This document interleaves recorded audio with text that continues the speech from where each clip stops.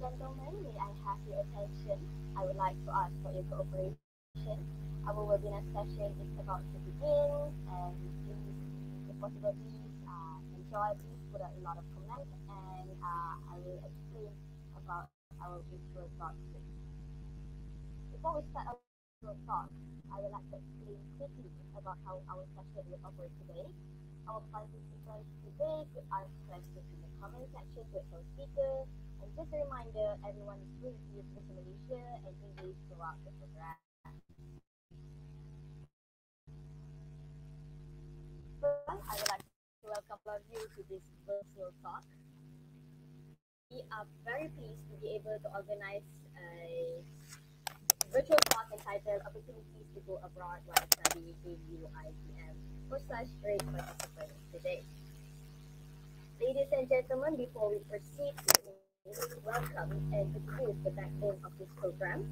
Watching the live session or YouTube account, our respected organizer, Muhammad Zaid bin Zaidi, Program Director, Member of Student Council, Representative UITM Kedah Secretariat, Puan Irma our Program Advisor, and the long-awaited one as our speaker today, the Honorable Dr. Rozzana Muhammad Said, Office of International Affairs, OIA Coordinator.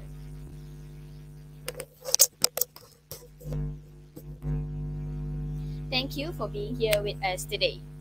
Without further ado, I'm sure all of you cannot wait to get to know our speaker better.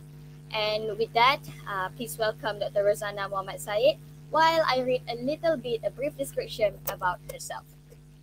Dr. Rozzana is a senior lecturer at the Faculty of Health Science, teaching and pathophysiology for health science at experienced academic and administrative faculty and university level and currently holding a position as an exchange student program coordinator. Absolutely inspiring. Thank you so much, Dr. For being here with us today.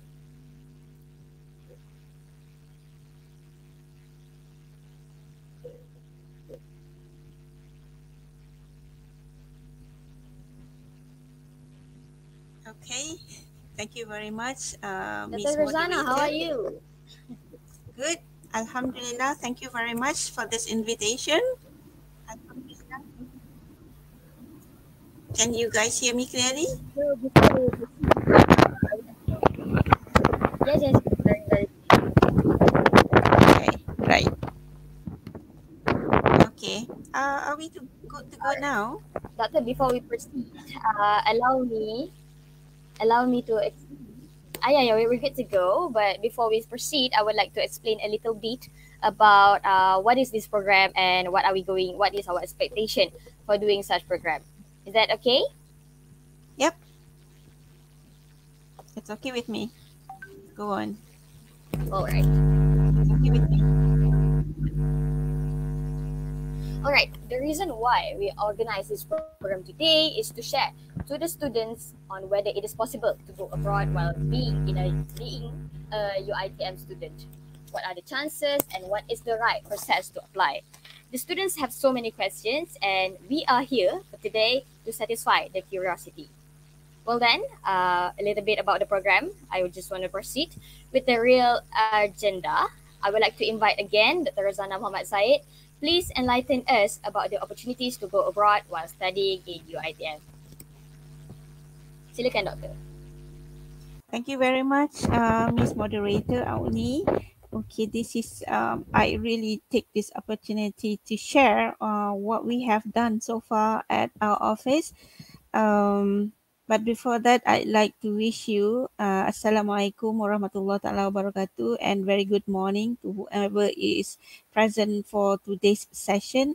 I'm very glad to be invited for this session because I always feel that I need to reach out to students all over UITM system so that they get to know uh, their chances. What are their chances of going overseas or going abroad while they're still studying in UITM? Okay, so basically, uh, I'm answering your request or I'm actually fulfilling your request in that sense. And um, I think I'd like to start uh, my presentation actually with um, an introduction to uh, to uh, our office.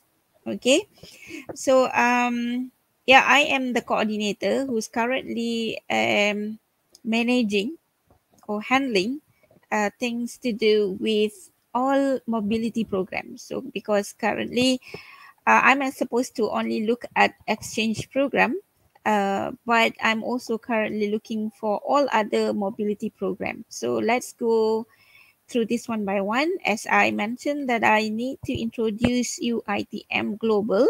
That's our office right now. Previously, people knows us as um, Office of International Affairs. Um, I am going to talk more about it later, but this is the agenda basically to go through, uh, introduce you to UITM Global. Then I like to highlight on the importance of student mobility activity to UITM and also to individual students. Okay. And what are the activities and how to apply and does UITM provide services for alumni to go overseas? Okay. So these are the points that I'm going to cover uh, today. Now, as an introduction, as I mentioned much earlier, that our office uh, was known as Office of International Affairs previously, but now we are known as UITM Global. The reason being that, okay, uh, there are two more departments set up under our wing right now. Uh, previously, we have uh, Office of International Affairs. Now it has become Department of International Affairs, uh, which main function is to manage the not only managing the inbound and outbound student activities, uh, but we are managing everything to do with uh, international affairs, be it for staff or students, visitors, everything to do with international affairs. Um, we our department is the one that manage them and then we are uh, joined by Department of Ranking. So this is where you find uh, maybe you're fully aware that even at our website, we always have um, information regarding ranking UITM. Where are we when we compare with uh, other universities all over the world? And we are not only looking at university per se, we are also looking at faculties, courses, you know, uh, that will be ranked against other universities. So far, we have we've done so well. What I have put here is just an example uh, because you know that it is uh, from 2011, but now 2022, we have risen so far. Uh, not that far because uh, we do have um, challenges. Like for example, we do not have that many um, foreigners in our university. We do not uh, we do not have that many um, international students and international staff. So this can be one of the things that uh, being looked at for ranking purpose. Uh, and I think we lose on that part, but we're working on other aspects that we can improve, you know. So we are not, uh, we are still in competition we are still there and we're still very very relevant. And the third department in our office or in uh, in UITM global is known as department of strategic partnerships. And this department is uh, responsible in initiating uh, partnership with the top 300 universities of the world. So it's not easy. It's pretty tough uh, because usually uh, top universities they would rather be with um, you know with other top universities uh, so it is not really that easy but we're doing it you know. Okay uh, this is the organizational chart. Uh, it's all one. Um, I, I believe we do not have the the the full the latest version. But basically that's how this is how it looks like. Our um, assistant vice chancellor is no longer prof. Chemistry dr hadaria now is actually uh, prof. Dr shariman zainal abidin. Um, okay. Currently the in under the department of strategic partnerships uh, um, we we are not sure about the position of Prof. Dr. Ahmad Nakiuddin, but he was the person who headed Um, we have a couple of coordinators and heads. You can see here heads, okay, and also coordinators. Uh, uh, my office is basically, as mentioned, is under the Department of International Affairs. You can see how huge we are because we handle everything to do with international affairs. And we are still lack of uh, staff. If you can see here, the coordinator. Uh, currently, we have one coordinator under communication and internationalization. Yeah, but um, uh, for international students and development, which uh, is the unit uh, responsible to handle everything to do with students, inbound, outbound uh, uh, students activities. Um, it's here, as you can see. I hope you can see. Uh, I'm moving my uh, cursor there, and here I am. Okay, looking under, uh, looking after the student exchange. But as I said, because the position here, coordinator for summer program or shorter program, yeah, shorter uh, term program is still not available. So I'm handling both, yeah, being a coordinator, coordinating mobility program basically, yeah, students mobility program. So where are we located? I know you guys are uh, in the north region, but maybe one of these days you may come down here to Shah Alam for certain uh, activities, perhaps, or maybe just want to go to our center. So basically, uh, if you are quite familiar, or perhaps you are not familiar, but many of you not necessarily are actually uh, from the northern part of uh, the peninsular, but I do believe that many of you actually comes uh, from Johor, maybe yeah, from Kelantan, and and so on and so forth. Uh, and you may be, as I said again, once in a while, probably you are here at our campus.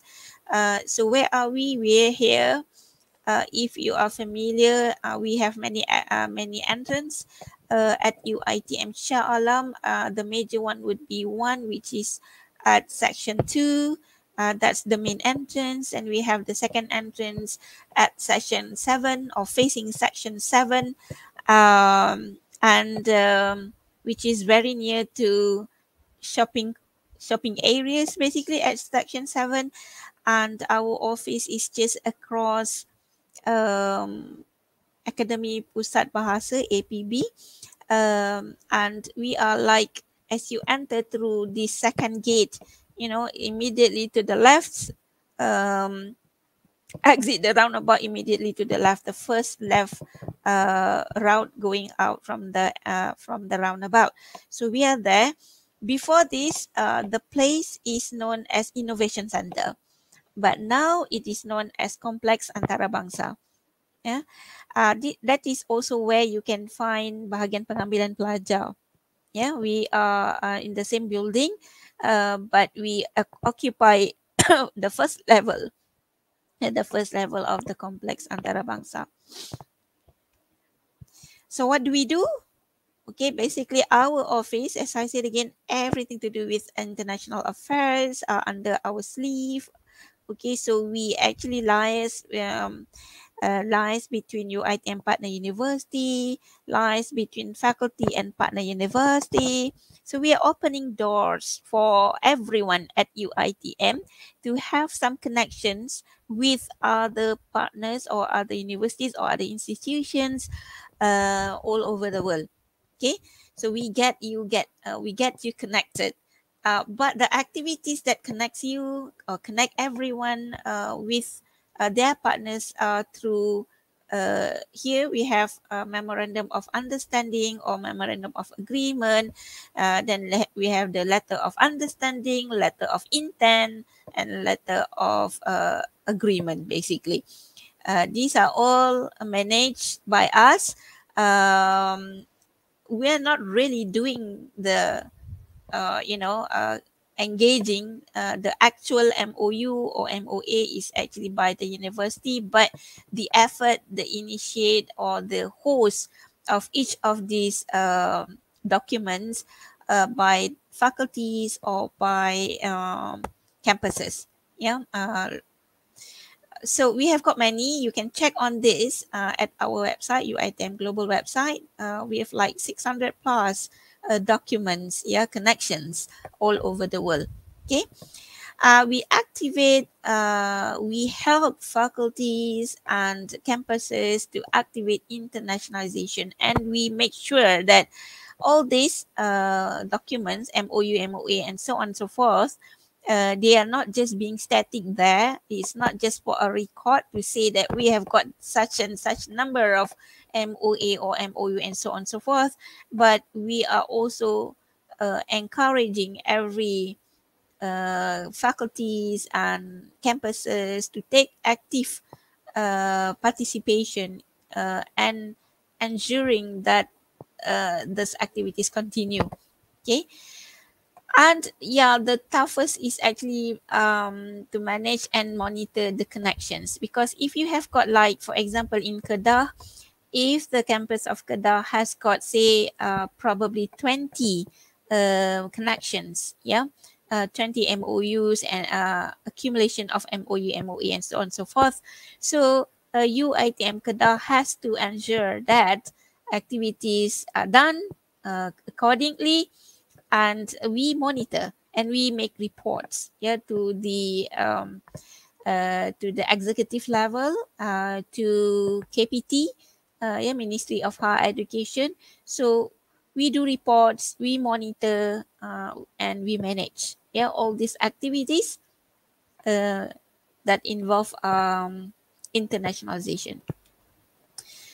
Now, how do we keep connections? Yeah, um, these are among the things that um, probably you have heard as well occurring or happening at your campus. Yeah, you get visitors yeah the visitors can be uh, in the form of uh, professors uh, maybe even um, students okay? Um, so basically we have visitors from overseas and we this is among the things or activities uh, that we do. We collaborate now uh, collaboration in research grant uh, grant acquisition publication and lectures um, we are only monitoring or we are only collecting the data, but all activities are done by uh, the faculty and campuses. Yeah. Uh, we collaborate in mobility activities. So here, mobility activities is really uh, through our office, basically. Yeah. Uh, and we lobby. How do we lobby? We send information to universities, uh, to our partners, to uh, request them to work with us, to send their students with us, to do program with us, and so on and so forth. So we do some lobbying. Uh, um, in the past two years, there are a lot of activities of lobbying, uh, which are done um, online. Yeah, we have got like so many online meetings and online lobbying. Okay, and we organize meetings and events with international partners. Okay. All right, so mobility activity at UITM, why? Why do we need to do it? So this is the importance that you, all of us, yeah, not just lecturers, not just administrators, not just staff, but students also need to know. One of the things that uh, we are doing internationalization is for ranking purposes. We want to put ourselves to um, measure ourselves against other universities. How good uh, are we? And then uh, UITM has an initiative known as Global Renowned University by 2025. So that's a target that we have to achieve. So we need to be very active in doing this. And who who are involved in mobility activity basically everyone can be involved whether you are a student or you are an academic or administrative staff yeah. And what type of activities? So there are a number of activities um, what i have put here are basically involving the students you know but for staff um, they they have like work shadowing like for administrative staff they can actually request uh, to go for example to university of Tsukuba uh, and just to learn to be put there uh, like an internship. But internship means that you haven't got a job yet but here you have got a post already but you just go to uh, our partner university and experience the way things are done or basically work in short term with the, at the partner university's office uh, for staff academic staff a lot of activities yeah, uh, research, publication, uh, lectures, and so on and so forth. How how do we get involved with the mobility activities? Um, I'll talk about this more, but anyway, uh, the thing is, in short, that you have to identify the university. Uh, you've got to find out all the necessary information. Then you need to discuss with your faculty or yeah faculty or maybe in your case you have got the head of course uh, head of programs or maybe even you have a coordinator uh, or maybe your advisor you have to discuss about what you want to do uh, then next step is you cannot actually uh, nominate yourself uh, for exchange program especially yeah uh, as uh, that uh, your name must come from us, from our office, from Department of International Affairs, and we call that as nomination. Therefore, uh, campus or faculties needs to write to us to let us know that such and such students have been selected uh, to go to whichever university to do what activity. Okay, and to support you, we have some funds yeah some funds that you can use and you can apply and use. So i'm going to talk about it more. And of course after everything has gone through uh, you just go to that particular partner university or the host university and enjoy the program okay right so am i clear so far about all this thing is, is there any question you can just stop me anytime um, and i will help answer your curiosity so we are now going into the second session. The first session, as I mentioned, is an introduction. Now we go to the student mobility because as I said again, I'm largely involved with student activities. So what is student mobility? You may have heard about it, but let me just reiterate it. Yeah, global student mobility. I I'm just going to read this. Yeah, global student mobility or outward global mobility is a term used to describe participation of students in overseas placement, uh, studies, or volunteering. Therefore, volunteerism is also part of mobility program. It is something that is strongly associated with positive benefits for students in relation to personal development and career opportunities. So you see here, positive benefits. You want to gain some, uh, there, there are benefits for you in joining this uh, student mobility activities. Yeah, it helps to build personal development like uh, the soft skills, yeah, uh, leadership skills, communication skills, or whatever skills, even critical thinking skills, yeah, it's it can be developed by uh, engaging yourself in student mobility activities. And career-wise, you want to get a job, you already have this, uh, you know, you you, you receive um certificates or awards maybe while you are joining a certain activities uh, because you are actively participating and, and you're good in the activities you may be awarded as the best presenter uh, the best participant or what whatever it is yeah. You may have got some award and that can be included in your portfolio and that can be used for you getting a good job. Yeah a good job.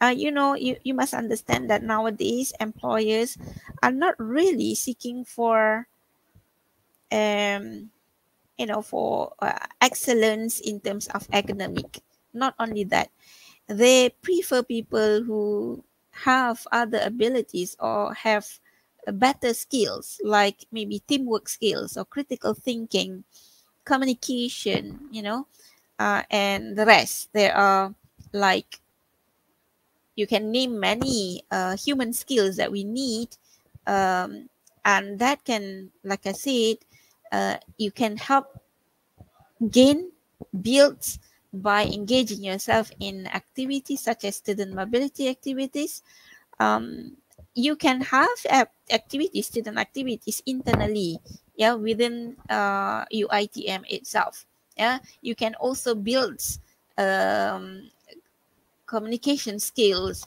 uh, leadership skills, teamwork skills within UITM. But UITM aspires to have students who are also capable to go global.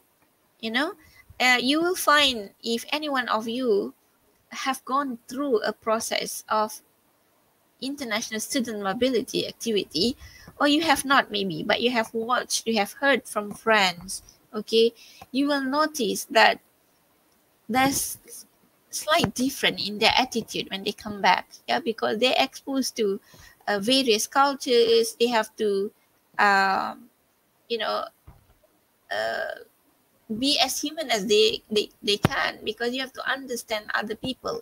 Yeah?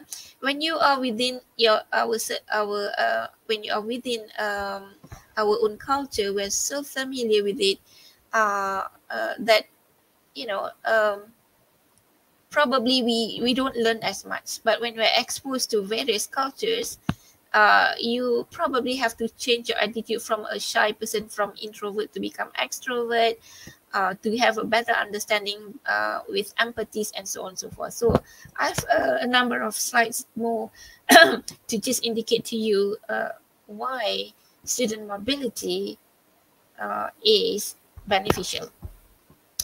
So here we have creating global citizens, yeah, so that you can understand the real world implications uh, having new experience yeah and hone on your skills yeah human skills.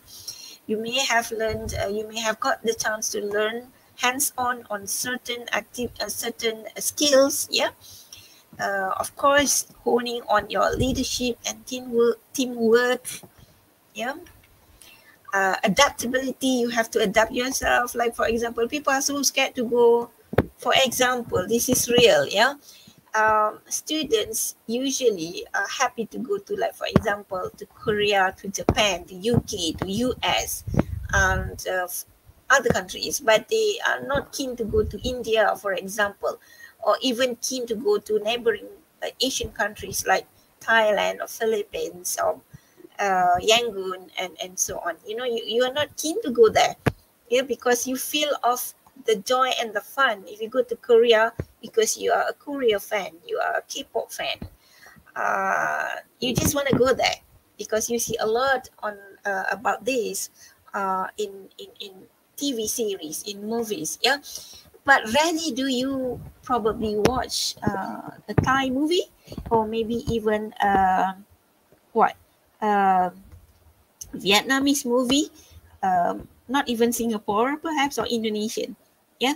So therefore you are lack of knowledge of that country and so you have a, a, perception a different perception that you feel that these countries our neighbors are not as good as it is with korea and those countries that you know very much developed countries yeah? Uh, but you see the thing about this is that you just want to gain gain experience because not everyone can go to korea not everyone can go to Japan because it involves a lot of cost. Yeah. So the point is, even if you just go to Thailand, Thailand isn't that far from you, it's a border to you, right?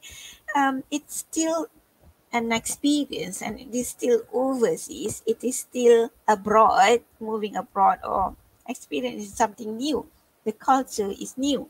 You have to adapt. Maybe it's not easy for you to get food halal food is not easy, perhaps, which is uh, I doubt it. Yeah, in Thailand you get you can easily get halal food, but maybe uh, if you go to India, you may not be able to get halal food that easy. So you adapt to the situation. Yeah, instead of buying, maybe you wanna, you know, try and cook yourself uh, food. Uh, maybe just eat bread. uh, that's what happened when um, you know, in some places you just can't help yourself. You are scared of eating something which served to you because you're not sure of it's being halal. So you opt to something which is, you know, uh, not not going into food that you really like, but you just have to resort to something which is cheaper, which is like you know, like perhaps bread isn't you know, uh, is is is not considered to be non-halal, it is halal. But you know, you've got to experience it. You know, you've got to experience it. Yeah, language and communication communication skills. It is good if you can actually learn new language. You know, in Malaysia, I personally feel that I only knew English and Malay. Yeah, which is it's, it's actually something uh, um, my weakness actually yeah i should have learned another language. This is what uitm has given you uh, to learn a third language. Yeah a third language because it's uh, it it should be beneficial to you. It should be uh, giving you a competitive edge when you go for a job which is competitive. Yeah because having to know a different language so you can learn different languages from your involvement with student mobility. You may be there for about four months and you must have picked up some conversational language uh, of the of the country. Yeah. Uh, so and then you build your communication skills because let's say for example you don't communicate well in english so you go to for example you go where maybe you go to the to the US, yeah, to the US because that's English speaking countries. Okay, so initially you will feel a, uh, a, a little bit shy, you know, to ask questions, but because you want to survive, somehow you learn to better yourself in your language, English speaking skill. Yeah, so that's um, that can only be experienced you know when you are exposed in uh, at different countries and different culture. If you are staying here yes you can still learn your language but perhaps you are so comfortable with it that you can just you know uh, break all the rules. And you can just speak in uh, you know what we call it as manglish. You can mix the language malay and english and you don't care because you feel that everyone understands you. But when you are in in the UK, in the US, you speak that way. Perhaps not many people, or maybe all of them, are not able to understand. So it helps to build your communication skills. Yeah, understanding the global market. When you go somewhere else, you can see the economy, for example. How do the people at the country survive? Uh, what are their main activities and so on and so forth. So that helps to build and reach your social life yeah? Personal development other things other things yeah? Name anything and all that can help your personal development. So this is the benefits among the benefits of engaging in student mobility. Okay so that's about why student mobility is so encouraged yeah to uitm students especially yep and uh, we want you to go to be global citizen. And you want to have your UITM students to to build uh, your UITM students to become global citizen. If you are just staying put here in malaysia you may not uh, you know I, I can't say you can't be global citizens because nowadays you can learn everything from the internet. But the actual experience is what is what everybody should try as much as possible to get involved with the actual experience being somewhere. Yeah? It's not the same i mean some of you perhaps are coming from uh, you come from a good family uh, that you uh, that you have the chance to have holidays overseas um, at least once a year. But many of us at uitm uh, is not as um, lucky, you know. Uh, and therefore, one of the things that these people, yeah, uh, people who has lack of money, for example, yeah, uh, take the opportunity offered by UITM by getting involved with student mobility international student mobility activities. Okay, so it is an initiative. When I joined, uh, that time was uh, Office of International Affairs. That's when I heard about one student, one passport. Yeah, one student, one passport, global citizens. And I realized that this initiative of one student, one passport is just not at UITM. It seems that even the Indonesian, some of the Indonesian uh, universities are also adopting uh, this initiative, yeah, one student, one passport. Okay, uh, the other universities in Malaysia as well. Uh, we want at UITM, uh, what we want to be able to do is to send as many students as many students to experience global learning. Yeah. Uh, of course, in the past two years, when it's MCOs, right? Uh, we still we are still active doing this by encouraging students to go for online learning and for online learning, and you get exposures uh, from the programs as well, because you are actually, um, you know, together with um, different races, different nationalities. Only it is it is not physical. It is uh, through the internet. It is actually online. Yeah, but not to worry as much. You still gain something. And you still gain something out of it. Because as I said, not everyone can go. In UITM, we have what? Close to 192,000 population students population 190,000 that's a lot right that's a lot and we have some fund you can see here there are funding right we do have fun and we call it as dana mobility pelajar uitm and this fund is actually coming from uh try and find the word here um oh I, I lost the word i'm so sorry. But uh, basically uh, it's a fund created uh, from donations from alumni uitm alumni from uh, uitm staff uh, from corporate sectors uh, that actually gave money to us yeah uh, and it's put into uh, a, a, a, fund tabung eh, um, into a fund and which then being um, you know, uh, allocated to different activities in UITM to support internationalization, to support research and what, so on and so forth. So we do have Dana Mobility Pelajar UITM, but the amount is not huge. Okay, it's not that huge. Yeah. Um, let's say we have about a million ringgit, yeah, a million ringgit in the Dana Mobility Pelajar UITM, but we have 190,000 students. Yeah from diploma to degree to postgraduates. Fortunately, the this Dana Mobility Pelajar UITM is not to be used by the postgraduate students. So it is solely for the uh, diploma and the uh, bachelor degree students. So we're lucky in that sense. So if we minus um, with the postgraduate students, probably from 190,000 approximate, yeah, the latest count of student numbers, about 190,000, you just minus about 20,000, uh, sorry, uh, not even 20,000, about a few thousands only postgraduate students in Malaysia, probably say about 10,000, right? And we still have 180,000 students that we need to support.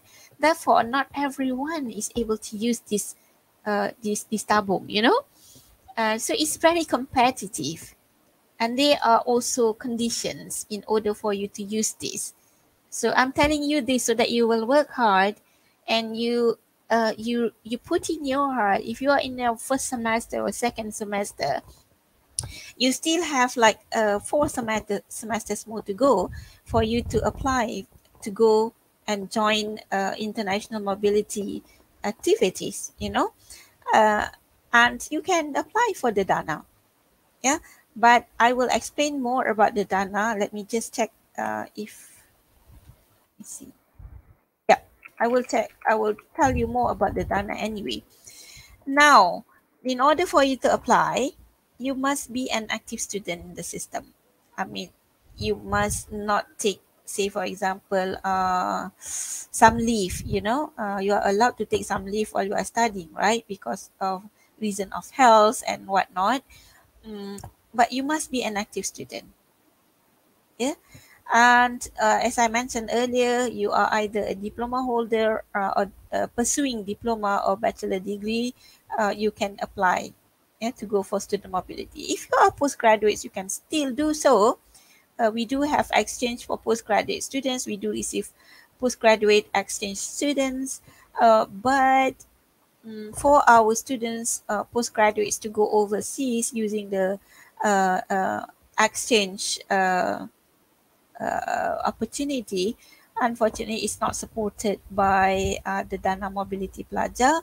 So either the students uh, have to use grant from the lecturers concerned, from their supervisors, or the faculty, uh, the Institute of Graduate Studies uh, support them, or uh, they have their own fund. So they, they're not being supported, yeah, but they can go for student mobility activities. The criteria, yeah, now that we're talking about the diploma and bachelor degree students, in order for you to apply and use Dana Mobility Pelajar, remember this to use Dana Mobility Pelajar, yeah, you have to have a CGPA of more than 3.0 for credit transfer program. Yeah, for credit transfer program. So this credit transfer program uh, is exchange program, uh, or it can be also internship um, program, research attachment. You know, these are the sort of programs under the credit transfer program. You have got to have a CGPA of more than 3.0. But for all other non-credited programs, summer programs, any anything that is not uh, exchange uh, un, uh, or categorized under exchange program, uh, then you if your CGPA is a minimum of 2.5, you can go, you can apply to use the fund. Okay, so that means what does this mean? This means that we are doing our best to get students to go overseas. Yeah, for a short stay, of course. Yeah, not for a long duration stay, but a short stay. But even when it is short, it can be uh, uh, a few weeks, yeah. Uh, and for the credit transfer, it can be up to a year. It can be up to a year, but the pro the process are pretty tedious actually. Funding, yeah, uh, we have got as mentioned Dana Mobility Pelajar belonging. Uh, uh, it's a, a fund, yeah, uh, at UITM level we also have uh, what's known as Asian International Mobility for Students or AIMS. These fund are actually given to us uh, by the Ministry of Higher Education. However, um, the areas of studies, this is only for exchange students.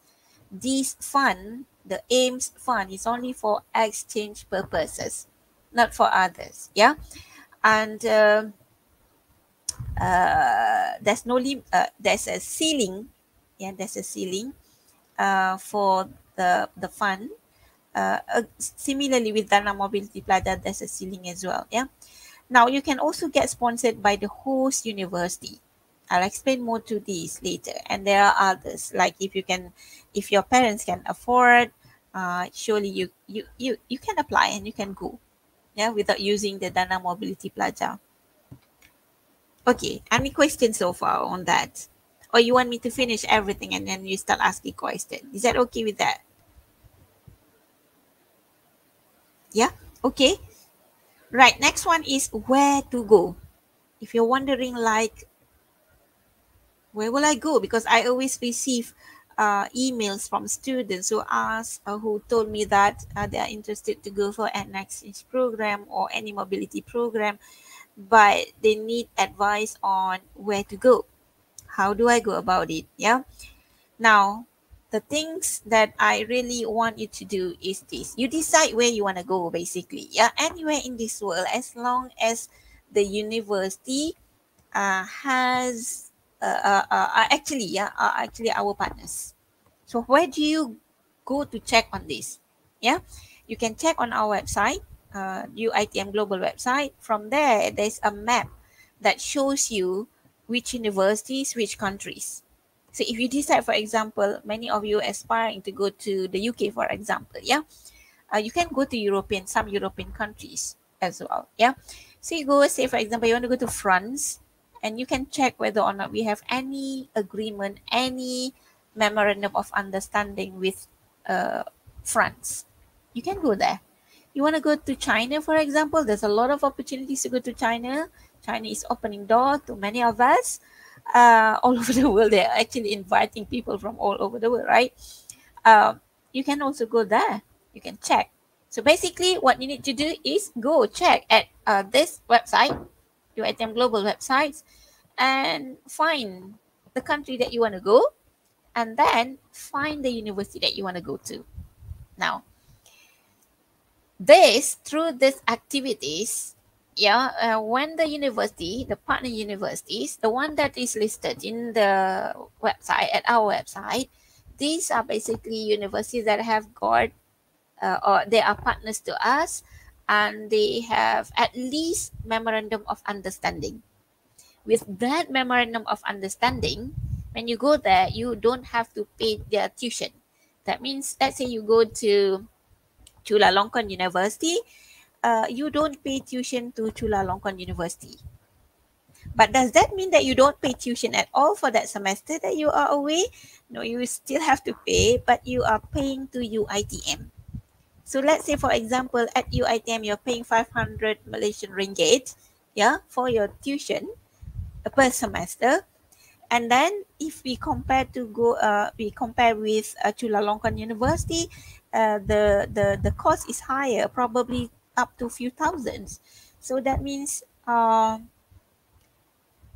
it, it benefits us in that way, you know, it benefits us because you're only paying a, a little money yeah, to get that experience. Okay, so again, I want to repeat this part that you're not paying tuition fees to the host university, but you still need to pay tuition fee for that semester, but you pay it to UITM. Okay, now you go to some uh, many of these universities. I found out nowadays because of inflation, I guess, yeah, uh, that many universities they are no longer afford uh, offering accommodation now especially countries such as the us japan uh, even korea now yeah uh, all countries basically yeah they do not offer free accommodation. So accommodation needs to be paid.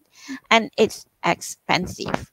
It's very expensive. Uh, let me share with you this. Yeah one student um she is so determined. She has got this chance. I mean everyone has got the chance right?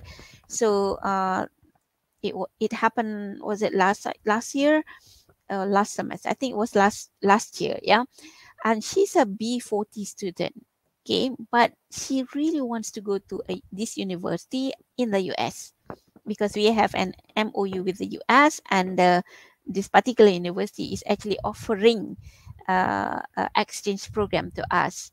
So this student, uh, being a B40, she doesn't have that much money. And then for us, she, of course, she applied for the Dana Mobility Pelajar, but as I said again, there is ceiling or the maximum amount that UITM can give. Yeah. Now, if you're asking me like, why should they be a maximum amount? Remember, UITM has got so many students and UITM wants to support as many as possible students to be able to have global experience. So anyhow, for this particular student, she needs to pay, uh, this is relating to accommodation fees. Yeah, relating to accommodation fees. Uh, have to be, she was, she was actually at this particular university for four months and you know how much she needs to spend for accommodation? 18,000 Malaysian ringgit for that four months. It's expensive, isn't it? Even more expensive now because ringgit Malaysia to USD is cheaper. It's uh, expensive, sorry. It's, it's it, USD is expensive. You know, we are buying USD. It's very expensive right now. It's almost like one USD equivalent to 4 point, nearly 5 ringgit already. I think probably at least 4.6 uh, Malaysian ringgit for one for every one USD. So it's very expensive, you know. So this is what I'm telling you. If you want to go overseas, you want to go as far uh, away as you like. Yes, you can, but you have to have some money as well, because your UITM is not going to give you all expenditures, unfortunately. Yeah. Uh, okay, but anyhow, the student survived there for four months. Alhamdulillah, she's back here, and I do believe uh, that she learned a lot. Yeah. Um, and it's, it's just on accommodation. What about others? What about food, cars? What about transport? So this, uh, most of these have to be borne by you. They have to be borne by you. So choose wisely. When you decide to go somewhere, choose wisely. If you know that your parents cannot afford yeah, to provide you with much money, okay, then choose somewhere which is nearer to Malaysia. Remember, the point is to have a global experience. Even when you go to Indonesia, you think that Indonesia is similar to us, but you may face you may face challenges over there. Yeah, if you go to university, uh, let's say where, um, probably I'm not, I'm not sure if there is a university in in in in in Bali. Yeah, in Bali, I've not been there as well. Yeah, but what I have heard is that it's not easy for you to get uh, halal food uh, in Bali itself, right? So choose wisely. You decide where to go, but choose wisely. Look at yourself. Yeah, look at yourself. If you are able to talk with your parents, okay you can talk with your parents about the benefits and so on and so forth but understand them as well if they do not have that much money to support you then choose thailand. Choose vietnam. Choose uh, singapore is expensive brunei is expensive unfortunately yeah but choose other countries. You can go to india as well. Yeah india india is opening doors to us but none of our students go to india simply because you think ah india you know? But do you know that india the technology in india is greater than us yeah we are they can post on their technology actually compared to us. We are using technology from other countries but they develop their own technology you know? Okay? Now if you if your purpose is to gain some global uh, global experience then choose a cheaper and nearby country. That's it. Yeah? But like i said again singapore and, and brunei is expensive so choose other countries. Okay? You can go to arab uh, saudi arabia the a number of universities that we have linkages linkage with yeah uh, you can go to a few african countries as well if you like okay what you need to do when you have decided which university you want to go okay you need to check on your study plan. So therefore, it is actually good if you are from the very first semester. If you are a student uh, in your first semester or maybe first year at UITM, I think this is good for you because you can start planning.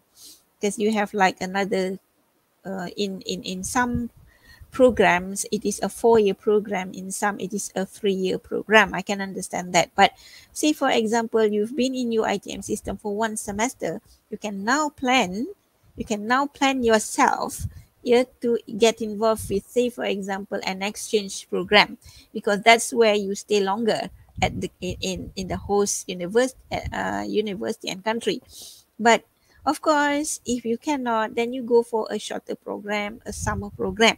Some summer programs like leadership program, we encourage students to go to such program. You can apply as well. Yeah. Um, so you need to check on your study plan. Why is it so? Because you need to make sure that you get um, credit transfer. You cannot spend say for example you spend about 15,000 Malaysian ringgit to go to Korea and then you come back and you, then you don't get credit transfer we are not happy we know this happened but we are not happy yeah the faculty you needs to be responsible so there is a need for you to negotiate there is a need for you to uh, plan well on where to go when to go how to go You've got to talk with the faculty. You've got to talk with your academic advisor. You've got to go uh, to talk with the uh, head of department or head of program. You have to talk with the liaison officer. Right now, uh, I think the liaison officer in Kedah is it you, uh, Puan Irma? I think it is different person the last time that I know. Uh, if it is Puan Irma, you can talk with Puan Irma, of course. Yeah. Check on eligibility. Some universities state clearly uh, what kind of students do they want. Uh, they can be very specific, uh, like they need uh, English uh, um, uh, English skill of high credibility. Like uh, some will state, for example, IELTS of 6.5 at least, a minimum of 6.5. Some some states, uh, um, uh, uh, not IELTS, but uh, TOEFL, TOEFL score of say uh, 600, yeah, um, and so on and so forth. So there are various uh, language uh, uh, skills that that they can uh, they can request from you. So you have to check on this eligibility. Uh, there are other as well, other others, uh, other conditions uh, as well. So you need to check from their website and decide when and where you want to go. Yeah, I mentioned this a um, few times already. Uh, I also mentioned to you that you have to talk with the faculty and you need to get their support. You need to get their support. Why? because you need them to give you the credit transfer. Yeah, they, you need them to give you a credit transfer. How much, um, how many credit transfer? If you're asking me how many credit transfer. Now, in a semester, we have to have at least a 12 credit, right? At least a 12 credit credit to enable you, if you uh, to enable you to get Anugerah Dekan or uh, Anugerah Naib Chancellor or something like that yeah uh, you have to have at least a minimum uh, a minimum of a 12 credit if i'm not mistaken. You got to check with your uh, faculty uh, yeah basically your faculty uh, or the academic affairs uh, at the campus. Yeah you got to check on that one. And that's why you know uh, if you go for internship internship is about 12 credits if i'm not mistaken. Um, then uh, you, you you can go and you come back and you can still get uh, Anugerah Chancellor or Dean's List and so on. Okay, but again, as I said, please do check. Talk, plan. You are in one in your first semester now, for example. Plan that you want to go in your third semester, for example, because you've got to check on the courses. Yeah. Now, um, probably you can you can write to the particular university, you know, write directly to them and ask, uh, do they offer these courses, uh, similar courses, for example, in which semester? You may you may be able to get that information, yeah, just to find out. Yeah, you can tell them that you plan to do uh, to go for an exchange program with the university, but you need to check on the credits offered by the university so that you can get credit transfer. You can actually write directly to find out, but not to apply. Yeah, but not to apply because many universities um, they don't want students to deal they don't want to direct deal with students they prefer to deal with university. So it has to come from the international office. That's why I said earlier that you need to be nominated by your faculty. But before you get to be nominated, you have to do all these things. Seriously, you have to go through this thing. Now, another is you can do a research internship uh, at your last semester yeah but uh, um, i think the last that i heard from the committee is that if you are doing uh, if you are in your final semester uh, the chance for you to go uh, for an exchange program is slim slim. Yeah? Uh, we prefer for students to go uh, while they are in between first semester uh, sorry second semester to the probably fifth semester. Yeah, because why why can't you go in the first semester? Of course, you just get into UITM. How can you go? Yeah, uh, we need to have your CGPA value somehow. So you need to go for your second semester, where you already have your uh, CGPA value. Now, for we, uh, we, we don't encourage students to go in their final semester because um, yeah, why the, the reason for not allowing students for the final semester is that we're worried that if should, should you fail, should you fail, or maybe you don't want to come back or something like that. You know, you need to come back. You need to come back first. Okay. Uh, the thing about going overseas, you know, uh, doing your exchange there, you actually create connections with the university, the host university, create connections with your would-be supervisor, potential supervisor. Yeah, uh, you also create opportunity for friendships, certainly, the connections with uh, students from that particular university and that country. Okay. Which program to go? Again, uh, for exchange program of to use Dana Mobility, yeah, uh, th there is no written uh, statement actually. There is no written statement to say that uh, you cannot apply for dana mobility if you are doing programs other than the credit transfer program. Yeah uh, but we will support fully yes support fully means we will definitely say that you can go for this program yeah if you are engaging in credit transfer program or research attachment or internship. Summer programs, yes, but the faculty needs to work with us. If, say, the summer programs are advertised through our office, then you can go for the program. But if it is like you found the program, then that program needs to be told. You need to talk with us at uh, UITM Global or at Department of International Affairs. Uh, you we, we have to discuss about it we because we need to uh, we need to evaluate the program. We need to see the benefits of the program. Some summer programs are very expensive. They can run up into 3000 USD, you know, for just two weeks uh, period. Yeah, it's very expensive. 3000 USD is equivalent to 12, almost 15,000. Am I right about it? If you are considering 1 USD is equivalent to 4, uh, then 3000 is 12,000, but it's not 4, it's 4 plus plus. So it's almost come to 15,000. So because of that, because it's very costly, we need to really look at this program. Okay, I hope you understand this. Of course, you can uh, ask question later, yeah?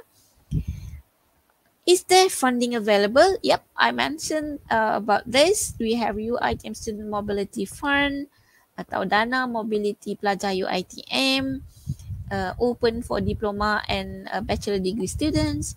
We have Asian International Mobility for Students, which is only catering for exchange program and this exchange program involved for UITM. Let me just tell you straight away for UITM, there are only four uh, areas that you can apply to. First is for international business.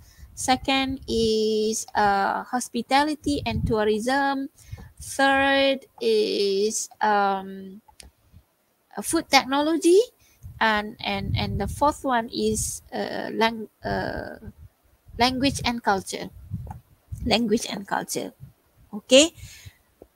I i have to give this information to you guys so that you know when you want to talk with your uh, uh, head of program for example because you need to start to learn and to study and plan right? Uh, if you are you see here with asian international mobility for students um, the this dana this dana does not consider whether you are a b40 or non b40 meaning all of you will get the same amount. If say for example the b40 get 10 ringgit the non b40 will also get 10 ringgit. This is only for asian international mobility for students. But for UITM student mobility fund it is not so. Uh, it, it will be categorized according to b40 and non b40 okay meaning uh, and what happened is uh, if let's say the program is costing costing you 10 ringgit okay the the b40 student can get 10 ringgit but the non B40 program, uh, the non B40 student will only get half of it, five ringgit. Yeah, uh, if we say that is is it fair? It is actually fair, yeah, because the B40 students cannot afford at all actually. Yeah, but the non B40 probably their parents can top up a little, top up some. Yeah. Now, another funding is from full sponsorship from international programs. So we have for the past two years, yeah, for the past two years, is it past three years? Yeah, the past three years, uh, we have managed to secure this seed fund, uh, seed scholarship. Seed scholarship comes from the Canadian government, uh, and it's a very steep application and steep it's uh, competitive very competitive because all universities all over the world apply yeah and uh, uh, we have been lucky uh, in the first year that we apply we send uh, we apply it, the application must be through us our office. Yes student cannot go straight to canadian government and request no uh, there is an opening and uh, uitm needs to nominate the student. So uh, we open the application to all students, but because this is a very steep competitive uh, uh, scholarship, yeah, we chose the best student only. Even when you score four flats, yeah, we still have to interview you. We have we still have to interview you and we select, yeah. Um, so the first year we uh, we managed to get two students to receive the Canadian government scholarship. The second year, we managed to get three students, Alhamdulillah. And the third year, uh, the students are going this year, yeah, uh, uh, three students as well. Now, it depends on our partner university. Uh, we only have one university in Canada that have uh, uh, MOU with us. So we are working if if let's say Kedah, uh, uh, UITM Kedah has some link with um, the Canadian University is better. It opens up chances, yeah, greater chances for us to send because each U- Canadian university can only nominate to their government two students from one university. Yeah. So in the first semester, uh, eh, sorry, in the first year, this one university managed to get us two students. And then the second semester, the same university, fortunately, we managed to get three instead of just two from one university. But this year, we went to our office, approached many universities. Uh, but unfortunately, on the due to certain reasons, yeah, only three candidates, uh, two go to the same university as was previous, and another one get to a university uh, which is new to us. Uh, we just get connected with them. Okay, so that's a seed.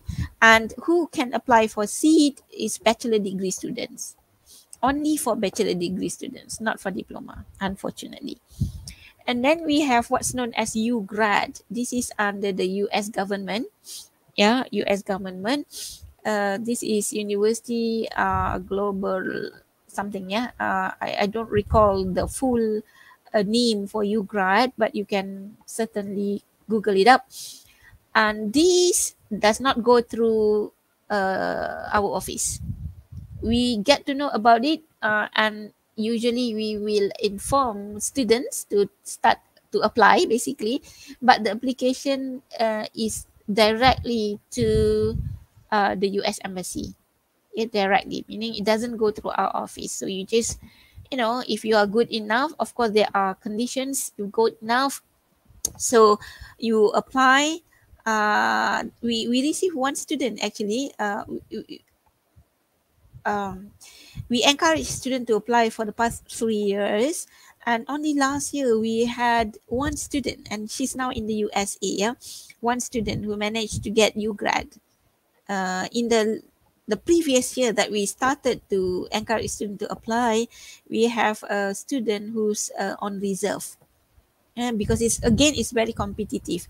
This particular student is on reserve, meaning if another candidate that they consider uh, you know is um, somehow something happened that the student uh, re- reject or something like that, then our candidate uh, can be selected. That's why they are on KIV, they are on a reserve. But last year, Alhamdulillah, one student managed to go and managed to get UGRAD. I um, don't remember how much do they are getting, uh, how much they are getting. For Seed, they can get a scholarship for the whole duration uh, stay, uh, 10,000 Canadian dollar it I think it's ten thousand Canadian dollar. Uh, all inclusive, yeah. Uh, the accommodation is accounted for, mon- pocket money, so that ten thousand Canadian dollar. Okay, UGRAD, I don't remember how much do they get. Uh, uh, really, I do not remember. Then we have another one, Mevlana, through the Turkish government. Uh, so far, I'm in office. I've not yet um, involved or uh, have any anything with the Mevlana, but this is actually also through another support you a European support uh, organization Erasmus. You may have heard about Erasmus. Uh, so the Turkish government is using Erasmus as part of their uh, sponsorship. Yeah, uh, you can you can Google up Erasmus E R A S uh, M U S Erasmus. Okay, then that's another one. If you apply for exchange program in Japan, you are eligible to apply for this scholarship, Student Services Organization scholarship. But you must first being accepted by a Japanese uh, university. Um, but as I said again, it's not a guarantee. But one one of the conditions for you to be able to get this uh, scholarship from the Student Services Organization yeah, from the Japanese go- uh, government is that you have never been to uh, you have never been to Japan, uh, you have been accepted uh, by a university in Japan, your parents cannot afford to send you, things like that. Yeah. So this year, Alhamdulillah, one university has managed to secure seven scholarship under Student Services Organization, Japan Student Services Organization. UITM received seven scholarships. Yeah, seven scholarships, and they are leaving in October. Okay. Uh, another one that is also possible for you to apply and receive is by the Korean government yeah uh gks i don't remember okay. Uh, uh, only this year only this year uh that we are offered this scholarship but only for one student yeah and one student managed to get it from international business.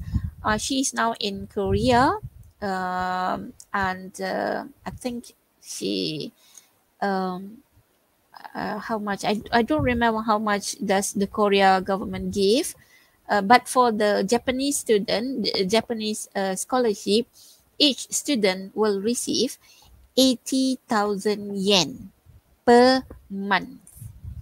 Okay, 80,000 yen per month, equivalent to all, uh, equivalent to 2,000 Malaysian ringgit per month. Okay, so you pergi, you dapat beasiswa ni, uh, tetapi you gunakan duit you dulu sendiri lah untuk semua uh, sponsors sponsors ini ya.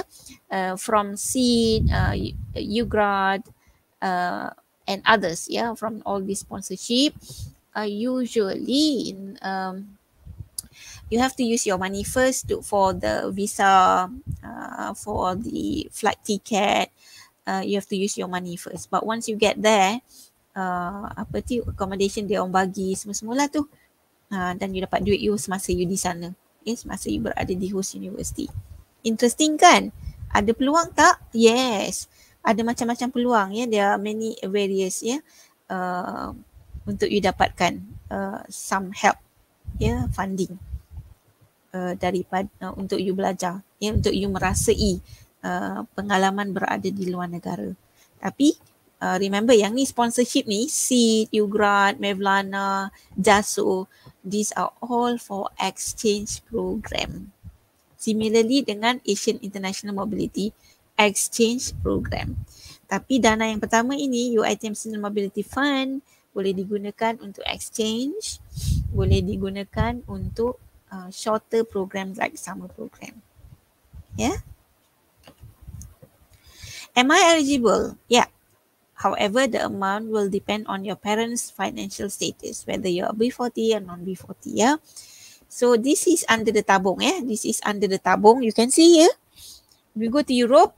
If you're a B40, you will receive 8,000 Malaysian ringgit. Tak cukup ni sebenarnya. It's not enough because if you convert how much is one euro to Malaysian ringgit, memang tak cukup. But we can only give you 8,000. Uh, for the non-B40, half you can see that everything is half. You go to America, you only receive 7,000. Africa, 6,000. Go to Arab countries, 5,000. I'm just saying the larger amount, yeah, not the smaller amount. Australia, 5,000. Asia, 5,000. Southeast Asia is 3,200. So these are the amount. So you boleh dapatkan ni lah. Yeah, sekarang when you plan, bila you plan, you tengok ni. Berapa you boleh dapat? Can your parents afford? If you are non B40, can your parent afford to give you another few thousand more to support you? And that's the reason why I say rather than you aim to go further and you know you cannot afford to, might as well you work on something which is nearer. Yeah, Asia, India, Contohnya lah ya, India, China. Ya, boleh dapat. Uh, pergi Southeast Asia, you countries uh, yang berdekatan dengan kita ni, and you get, you, you, you can afford. Somehow you can afford somewhere. Ya, tapi kalau you pergi jauh, hmm, memang banyaklah lagi duit dia. Okay, uh, this is the fund under the student UITM student mobility fund ya. Kalau AIMS, I didn't put it here ya. Under AIMS dia lain pula. AIMS dia tidak ada B40 non B40. Semua sama uh, dan uh, nilainya lebih tinggi. Ya, tapi of course AIMS uh, hanya melibatkan negara seperti Jepun, Korea uh, dan negara-negara ASEAN. ASEAN ya, Southeast Asian countries ya uh, tidaklah negara lain tidak ke Europe America okey yang itu kalau tak silap saya pergi ke Korea you boleh dapat 15000 Malaysian ringgit tapi untuk 4 semester lah ya 15000 ke Korea 4 semester okey now to- still talking about uh, funding ya dia macam ni ya kalau you dapat fund uh, you dapat beasiswa you tak layak untuk memohon mana-mana fund daripada UiTM. Tak layak. Okay, sebab you akan gunakan beasiswa you. Contoh macam saya cakap tadi lah seed, jaso. Ya, yeah, sebab tu saya kata tadi untuk yang sponsorship seperti ini, you have somehow you have to use your own money first to go. To go. But once you are there, you will receive the scholarship. Ya, yeah? harap you faham ni ya. Yeah? how to apply for the financial assistance okay once you have uh, for example yeah you want to go for a summer program you have to uh, kalau summer program dia tidak adalah offer letter from the host university ya uh, kalau dia summer program uh, brochure dia brochure program ya yeah? pasti dapatkan uh, kebenaran untuk ke luar negara uh, masih lagi memerlukan financial declaration of your parents ya yeah. uh, paperwork kena buat uh, biasanya fakulti akan tolong buatlah untuk uh, campus uh, mungkin liaison officer akan tolong buat ataupun you buat bersama mungkin you buat you draftkan and then uh, dibaiki oleh uh, pensyarah dan sebagainya lah eh tapi mesti datang daripada fakulti. Bermaksud dia kena ada surat iringan, dia cover letter daripada kalau fakulti kalau fakulti dekannya kalau uh, apa nama tu kalau dari kampus adalah daripada rektornya. Ya. Yeah? Dan perlu mengisi study abroad application form. Ya, yeah, study abroad application form ini boleh download daripada laman web UiTM Global.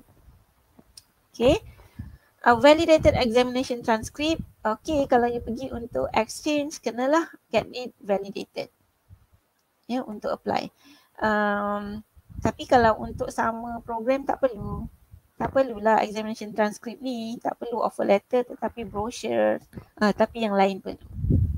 Ni perlu isi. Okay, now ada tak lagi yang saya tinggal? Ah, how many times can you apply? Berapa kali you boleh apply? Sekali saja di sepanjang pengajian you di UiTM. Sekali je you boleh apply. Oleh kerana itu berhati-hati. Kalau you yakin you boleh pergi untuk credit transfer, reservekan dia untuk credit transfer. Ya. Yeah? Kalau you nak pergi, you nak buat credit transfer, nak pergi sama program, choose mana satu you nak. Kalau credit transfer is much better because as I said, you are staying longer in the host country and you get trans- uh, credit uh, and you learn more because you are staying longer. So save it for credit transfer. Ya, yeah, credit transfer program. Uh, tapi ingat juga untuk you memilih seperti itu, ingat balik kalau uh, uh, uh, kursus-kursus itu dan univers itu adalah di bawah AIMS yang tadi tadi eh yang yang AIMS itu Asian International Student of uh, International Student Mobility for Student uh, sorry uh, Asian International uh, uh, Mobility for Student ya AIMS tu uh, ia hanya untuk credit transfer ya yeah? Uh, jadi kalau katalah uh, you kata okey uh, doktor saya um, fakulti daripada fakulti apa ya nanti kejap eh fakulti sains sukan lah katakan ya. Kedah ada ke sains sukan hmm, tak ingat lah saya. Kalau FSG katalah FSG lah kat situ ada FSG uh, tapi tak ada food tech tak ada kursus tak ada program food tech dekat situ. Contoh ya you tapi you daripada fakulti sains gunaan boleh ke saya nak apply untuk AIMS eh boleh. Tapi uh, you kena ambil language and culture. Ataupun kalau kursusnya ada uh, kursusnya um, berkait dengan food tech something to do with food tech Uh, food tech ni not necessarily everything kena ada perkataan food, food, food, food kan. Tapi mungkin ada something. Maybe ada something to do with bacteria ke. Tapi uh, dia berkait. Kalau dalam food tech tu dia ada kaitan dia. Uh, dan dia ada teknologi part of it. Mungkin you belajar tentang uh, instrumentation. Instrumentation adalah part of things that you learn in food technology. Uh, So ataupun you belajar tentang I don't know. I, I don't know. If you're doing physics for example, yeah, physics, uh, bachelor degree in physics uh, under FSG. So can I go for food tech? You have to look at the courses that's being offered by the university, uh, partner university under AIMS. Uh, yang itu you boleh check. Yeah? kalau AIMS tu you boleh check. Uh, you boleh um, go through um, Simio Raihat. Uh, okay, nanti saya bagikan dia punya tu ya. Simio Raihat AIMS. Uh, Simio Raihat AIM Programs. Nanti you, dia akan bawa you kepada laman web dia. You boleh semaklah negara mana uh, dan juga universiti mana. Ya, yeah? dan you boleh semak dekat situ. Macam saya kata tadi lah, mungkin you nak dapatkan maklumat tentang khusus yang ditawarkan uh, untuk semester. Akan datang contohnya you just want to find out bukan nak mohon. Nak find out dulu. Tapi you ada intention untuk memohon. You boleh maklumkan I have an intention to do uh, an exchange program with you uh, at, at your university. Uh, but uh, right now I am not sure of it. I need to find the courses. Um, so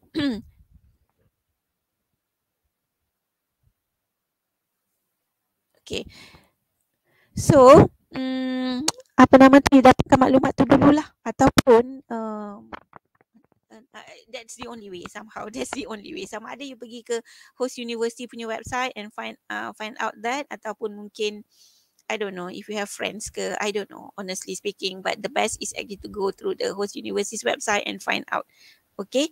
And then you bolehlah katakan uh, ada khusus-khususnya yang mungkin under fizik dia dia ada kaitan ya tapi you kena bercakaplah dengan you punya academic advisor. Atau okay you ambil bachelor degree in physics. Uh, tak ada pun khusus berkaitan yang boleh dapatkan credit transfer. Why not work on the language and culture? So under language and culture ataupun tengok juga kepada khusus-khusus yang boleh diambil kira sebagai elective eh khusus elektif. Kalau di elektif not necessary you ambil khusus yang berada di UiTM kan. Uh, maksudnya you boleh lah ambil di host university dan uh, apa nama tu hmm, choose lah khusus-khusus ini dan jadikan dia again you kena cakap dengan bercakap dengan uh, academic advisor ataupun ketua program ya you nak ambil khusus-khusus ini saya nak dia uh, ambil dia di bawah uh, apa nama tu elektif sebab itu saya kata uh, adalah baik kalau nak buat exchange program ni you pergi pada semester 2 3 4 5 sebab you uh, mungkin pada year 1 year 2 masih ada elektif program yang you boleh pilih ya yeah? uh, tetapi uh, bila you berada di semester lima mungkin elektif tu dah tak ada dah lah. So yang kalau you pergi kepada uh, semester empat, lima, enam that means dia kena uh, khusus spesifik lah sebab biasanya khusus-khusus ni disusun daripada yang general pergi kepada more spesifik ya khusus-khusus di UiTM ini susunan dia daripada semester 1 sampai uh, semester terakhir adalah daripada general kepada spesifik. Maksudnya uh, as you go higher and higher in your semester um, the courses are more geared towards your your field. Uh, if you are in engineering dia memang betul-betul engineering proper. Kalau dia fizik uh, memang higher uh, fizik punya uh, and so on so forth. Faham tak? Uh, jadi sebab tu bila saya cadangkan tadi you plan when I request and suggest that you plan for your uh, credit transfer program exchange program you really have to go through it yeah? And another one is uh, this is for the uh, university uh, for um, uh, the campus and also for the faculty that they have to remember that it must be a reciprocate program. Reciprocate means uh, macam mana? Okay untuk you student tak ada masalah. You boleh apply. Tapi untuk the faculty untuk the campus they have to look at uh, you hantar ke uh, Chulalongkorn uh, you kena minta daripada Chulalongkorn uh, maknanya kena berbuat baik dengan Chulalongkorn atau you kena uh, encourage uh, Chulalongkorn to send student also to your campus. Uh, itu yang dipanggil sebagai reciprocate. Dan kebiasaannya untuk reciprocate ya. Reciprocate juga bermaksud begini ya uh, salah satunya of course kalau dia ada MOU memang sedia maklumlah uh, the tuition fee is wave wave meaning bukanlah tak bayar tapi tak tidak bayar di host university bayar di UiTM saja. Tu yang pertama. Reciprocate juga supaya uh, uh, supaya kalau boleh uh, kalau boleh kita kita cuba negotiate. Kalau host university boleh bagi uh, accommodation free maka kita pun akan balas. Maknanya UiTM juga akan bagi pada student daripada universiti ini uh, accommodation free. Tapi kalau mereka kata contoh universiti di Japan dia memang tak bagi accommodation free. So kita pun tidak akan memberi pelajar dia free accommodation bila mereka ke sini. Contoh bila dia pergi Kedah uh, kita tak Kedah jangan bagi dia free lah. Ya jangan bagi accommodation free. Itu maksud dia uh, walaupun resipro reciprocate here ialah timbang balas ni maksudnya you bagi I satu you bagi uh, I bagi you satu. Eh yes. You bagi I satu I bagi you satu. Tapi kalau I bagi you satu you tak bagi uh, baik jangan uh, maksudnya boleh je hantar ke universiti tu tapi you've got to pay lah. Sebab sekarang ni saya nampak uh, due to pandemic ya yeah, due to pandemic uh, Japan kan Japan is not uh, really opening their doors yeah and they are not really encouraging their students to leave uh, to leave the country yet unless they are very sure that the students are like um, only uh, nowadays movement for students are largely uh, for academic purpose saja kebanyakan universiti uh, kebanyakan negara buatlah sebab the cases are you know uh, keep uh, you know uh, dia dia macam how do you say this? Yeah it going up and down yeah uh, it's not stable yeah for safety reason most universities are very cautious about this yeah and uh, so maybe uh, our government allows our student to leave the country and go for other university yeah uh, mungkin berlaku keadaan di mana hanya kita je pergi universiti tu tapi universiti untuk dua tahun tak tak datang tak hantar student uh, bolehlah berlaku macam tu and they charge us uh, tapi ada juga keadaan di mana dengan MOA ya ada uh, memorandum of agreement uh, universiti cakap dalam satu tahun ah ini berlaku di universiti di United States of America ya USA hari itu Okey, uh, dalam satu tahun kita hanya boleh terima pelajar uh, seramai empat orang pelajar sahaja. Empat orang pelajar. Uh, jadi maksudnya uh, pelajar sama ada boleh stay sana empat-empat ni uh, satu tahun ya. Uh, boleh ambil satu tahun, empat orang ni ambil sekali satu tahun ataupun uh, tahun ini, uh, semester ini satu orang pelajar. Semester depan satu orang pelajar lagi. Maknanya uh, every time mesti empat saja uh, berlaku juga keadaan seperti itu ya uh, depending on the memorandum of understanding and agreement as well. Uh, usually is an a memorandum of agreement. But this is not your bother students. For you student is fine you can apply. Tapi uh, ni must be checked by uh, the the the faculty and also uh, the campus lah. Campus kena check on this one. Kalau ada MOA uh, maka kena tahu apakah uh, arrangement dia yeah? sebab MOU tu dia very generic nature dia yeah?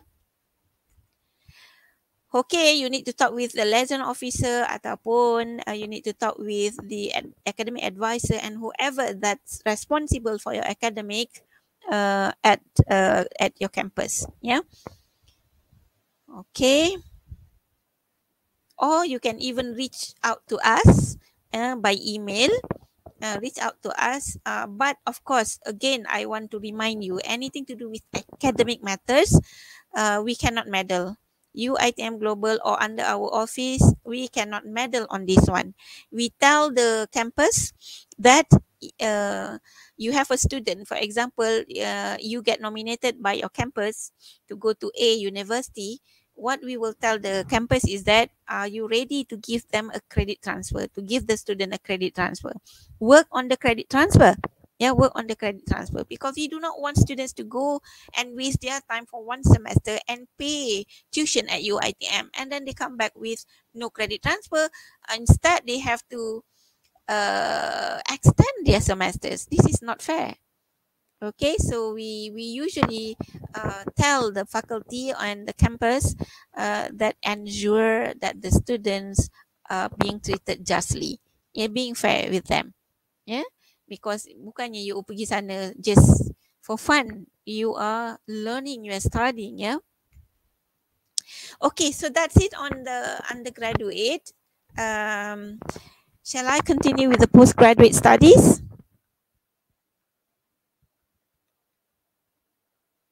Shall I continue with the postgraduate studies or shall I stop now? Um,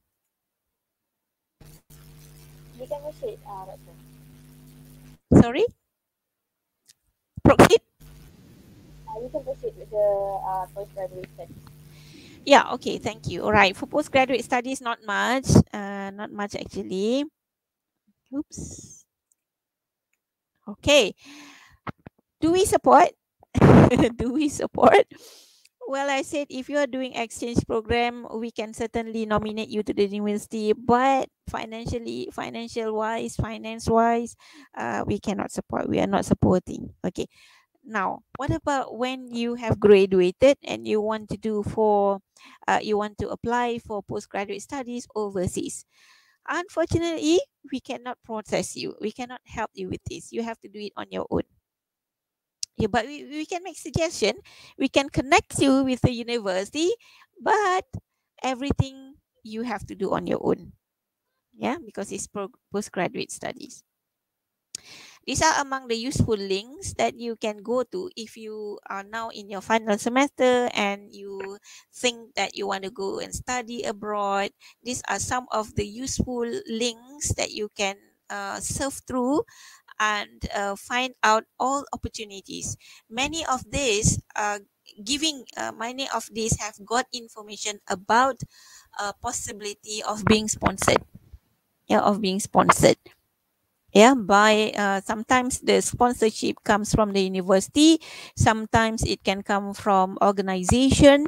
Yeah so you can have a look uh, at all this. Yeah at all these uh, links. Uh, okay. Um well what is it that you need to prepare yourself? You want to go overseas? Of course these are among the things. You need to ensure that you are healthy you don't want to be stuck uh, at the at different uh, country and sick yeah uh, or or fall sick. You don't want that. You must make sure that you are healthy. You have to have travel insurance. Uh, of course you've got to buy a plane ticket. Uh, you got to find out first about the country that you want to go to.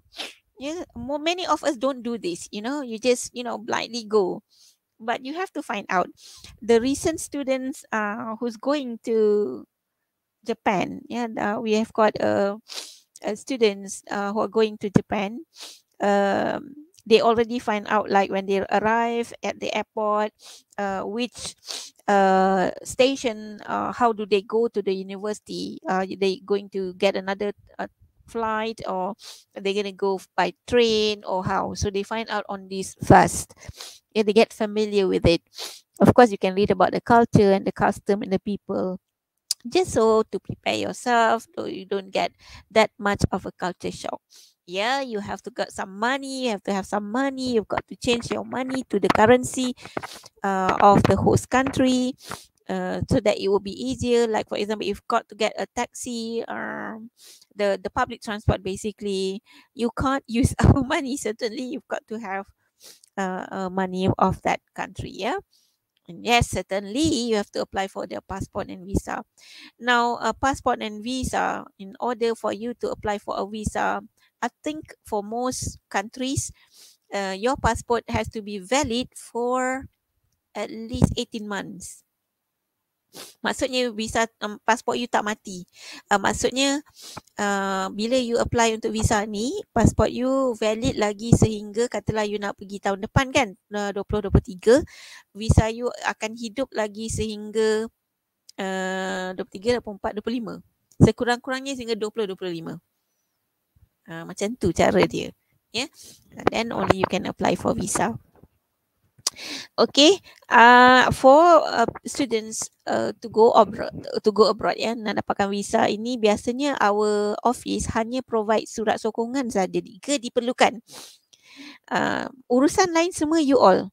You all kena buat sendiri ya, you kena hubungi embassy maksudnya go to the website of the embassy find out how to apply for visa dia akan bagi you guideline lah you have to do it on your own disebabkan uh, first ialah you, uh, UITM bukan agent ya sebab memang boleh dapat visa melalui agent tapi UITM bukanlah agent ya uh, dia kena individu lah. So individu yang nak nak pergi tu dia lah kena pergi sendiri. Sebab macam ke US dia ada interview session. Ya. Yeah? Uh, dan sebenarnya mendapatkan visa. Contoh pergi US sendiri pun uh, kadang-kadang dia macam I can't say it is by chance atau nasib saja ya. Sebab kadang-kadang it can get rejected. So the documents needed uh, you have to have all the documents needed. Contohnya kalau nak pergi ke Jepun ya uh, universiti di Jepun itu akan um, oleh kerana uh, kerajaan dia perlukan dokumen A B C D. Jadi beberapa dokumen itu datangnya daripada universiti at university itu akan sediakan all these document uh, dan hantar kepada kita dan pelajar akan bawa kepada embassy untuk tujuan mendapatkan visa. Ya, you boleh buat appointment lah untuk buat visa dan sebagainya. Yeah. So uh, quite unfortunate if you are staying in Kedah uh, or in the northern part or outside Klang Valley. Most embassies of course are found here in uh, Klang Valley. Uh, Canadian embassy is in Singapore. So they don't, uh, no, they have uh, embassy here, but for visa purpose, uh, we have to apply in the at the embassy in Singapore. Dahsyat kan? yeah, that means you have to travel to Singapore if you want to go to Canada. Yeah, tetapi yang lain, uh, it can be in uh, here, yeah, in Kuala Lumpur itself. But you have to find out all information. The most that UITM can can can can support you uh, is to provide you with some some kind of letter. Only if get requested by the embassy. Kalau embassy tu tak request kita tak provide apa-apa pun. You just go there uh, membawa dokumen yang diberi oleh host university. Uh, saya bercerita ini, I'm telling you this based on the current situation. Uh, students to Japan, for example, again talking about going to Japan, yeah, because um, currently uh, I'm handling students to Korea and also Japan. Okay, what happened is uh, they they want um uh, there are documents that on the embassy gave yeah that you have to fill and the university have to provide because in the past uh such documents are not required but now the embassy wants all those the documents. Now even to go to indonesia let me tell you this these are the things that have changed since uh, the pandemic due to inflation. Yeah due to inflation okay? Even the indonesian uh, government now are requesting uh, students who wants to go to study in indonesia even for a short period like an exchange program they're requesting some amount of money to be in your account. To Japan last time to to to get a visa, a student must have at least 16,000 Malaysian ringgit in your account. In your own account, not your parents, your own account. 16,000 ringgit. The recent one this year, uh, one student told me that uh, the the the government wants to see 44,000 ringgit in the student's account before a visa is granted. Uh, this is going to japan again. Yeah to japan again. But because the student is going under the aims program uh, the embassy is fully aware about aims program and the students name are already listed uh, to the letter to the embassy. Therefore um, the students uh, does not need to uh, to to show the 44000 but the students uh, already have 16000 in the account. Because this is my advice to all uh, liaison officers yeah? If the student choose to go to japan make sure that they have at least a minimum at least yeah at least 16000 in their account kalau tak ada 16000 forget about japan if you don't have that much money forget ab- about korea forget about the US. US dia perlukan berapa untuk visa hari tu? I don't remember. Quite a, it's a lot, a lot. I think 10,000 USD kot. A 10,000 USD, imagine you have to have nearly 50,000 in your account. That's how they they are right now. Yeah, uh, they need to have financial statement, and that's the reason why I said you better choose countries which are cheaper, uh, nearer, but still can give you the global experience. Sebab katalah you pergi ke Indonesia ya, ke Indonesia. Di Indonesia itu sendiri pun dia mereka menerima uh, students daripada Australia. Australia suka pergi, Australian suka pergi Indonesia ya. Uh, mereka menerima daripada Australia, mereka menerima daripada European country. So you still have global experience. So rather than you, I'm not saying that you're wasting money, but for your parents to come up with 40, 44,000, it's not that easy. You see? 44,000 Malaysian ringgit. It's not that easy. Yeah, and it has to be deposited into your own account. Of course, lepas tu bila you dah dapat visa, you dah pergi sana, pulangkan balik duit boleh. Tapi nak come up with 44,000 is not easy. To come up with, um, again ya, tadi 10,000 USD. No, it is not easy. Some country requires not per semester but per month. You have to get the you have to have the money for per month. Imagine that is expensive. So fikir-fikirkan lah, yeah. So you need to refresh your uh, language skill uh, and make sure that your mobile phone is good. And then here is my last word: get out there. The world is waiting. With that, I'd like to thank you for listening to me. Uh, if you have any questions, please you can ask me, and inshallah I'll try to give you a good answer to it. Thank you so much. That's it. I pass this over back to the moderator.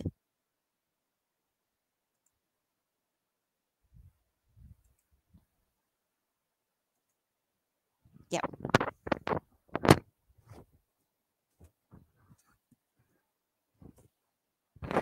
Are you muted, moderator? Can I can't hear what you're saying.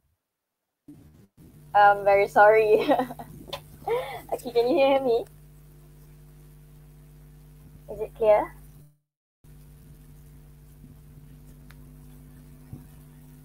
Hello. I can hear you. Don't know about the rest. Okay, okay, okay. All right, as long as you can hear me, and I'm sure the, the rest will also able to hear me. All right, uh, thank you so much again, Doctor, after such an informative sharing session. Uh, I'm sure our participants today will get a clear understanding about our objective today. Uh, ladies and gentlemen, it is time for a Q&A session.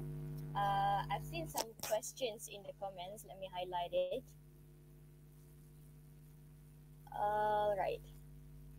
In the comment section. Okay, from Siti Fatima. Okay, I'll show in the screen. Adakah peluang ke luar negara ini dibuka setiap tahun? Dr. Rosa, it is your question. Please explain to us.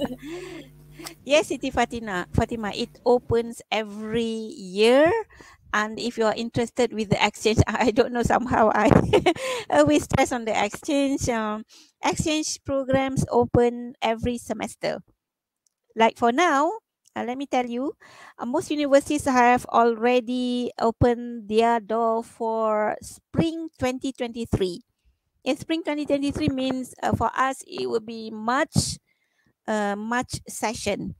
And that's spring 2023 in some universities uh their spring starts earlier. In indonesia um they have already had their uh, fall semester. Ya maknanya dia orang dah start bulan 9 uh, this month they already started their classes. Yeah?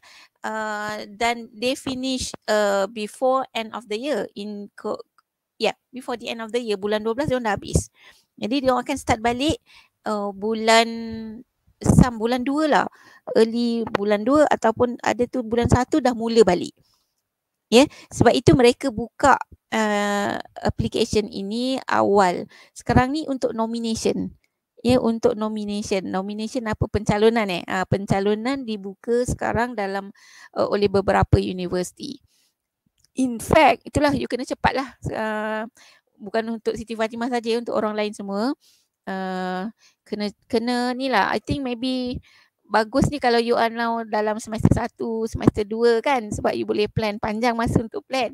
Tapi kalau you dah semester lima, semester uh, semester lima sekarang nak pergi semester enam, memang kena cepat lah waktu cuti ni lah boleh boleh plan very well and um, yelah uh, cari maklumat semua. Okay. Okey, saya harap menjawablah soalan Siti Fatimah tadi berkenaan dengan sama ada peluang keluar negara dibuka setiap tahun atau tidak. Kita proceed hmm. uh, to the next question.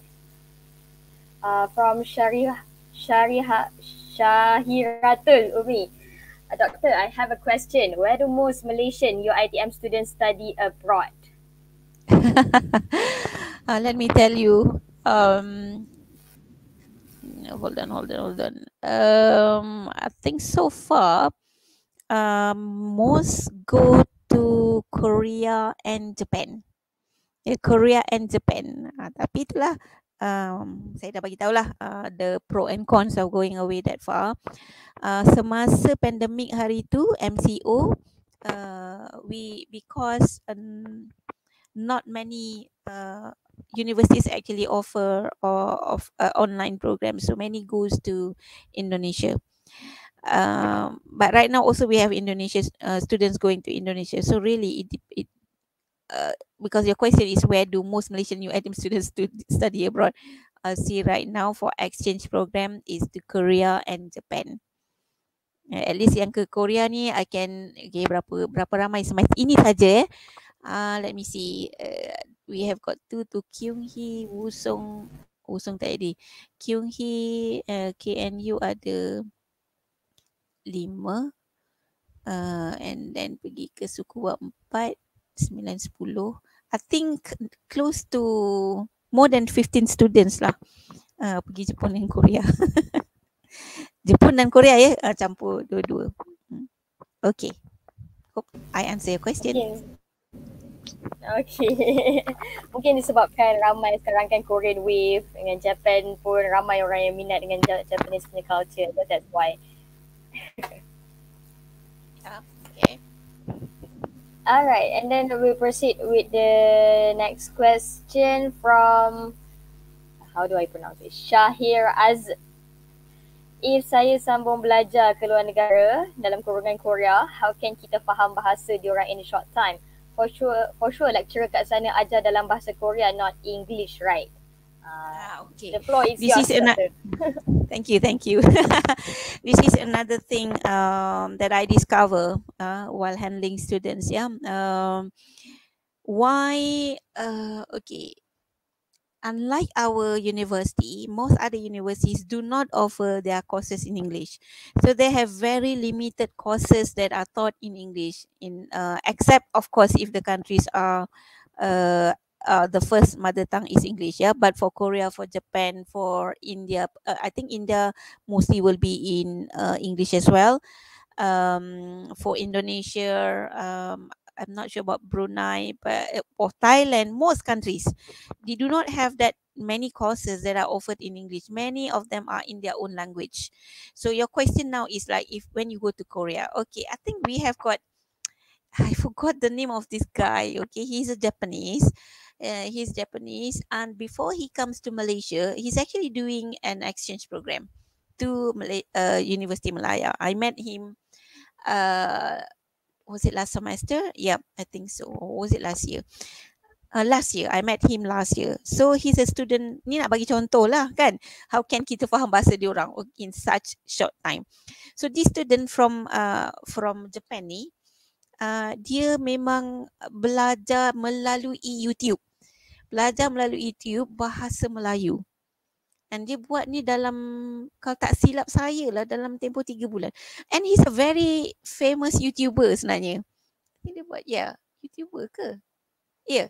Uh, famous YouTuber. Tapi saya tak ingat nama dia, Masya Allah. But he's so famous that um, ramailah yang nanti uh, the uh, whoever that follow becomes a fo- fo- his follower memang komen lah. Tapi memang what he did was that dia memang belajar secara intensif tapi melalui YouTube uh, bahasa Melayu. So when he arrives um, when I met him he was just about a month in Malaysia. Dia baru sampai yeah and that was uh, during yang ni raya haji.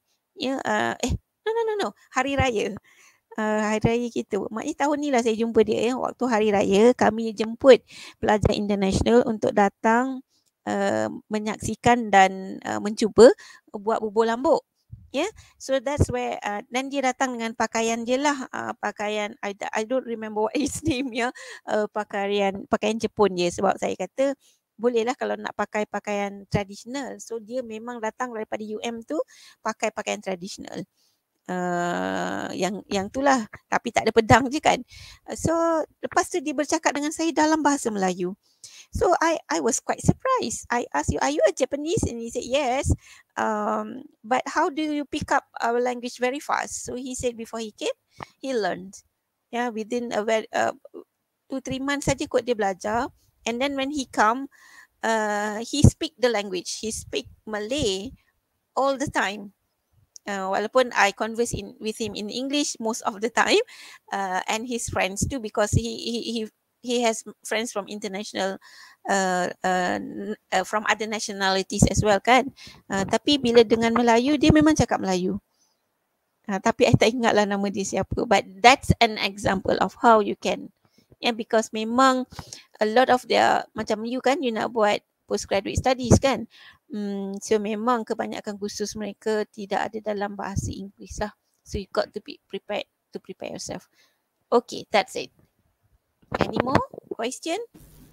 Okay, ada lagi. Uh, doktor boleh jawab lagi ke doktor? Boleh. Sampai pukul 12 kan? Okay. Ya betul.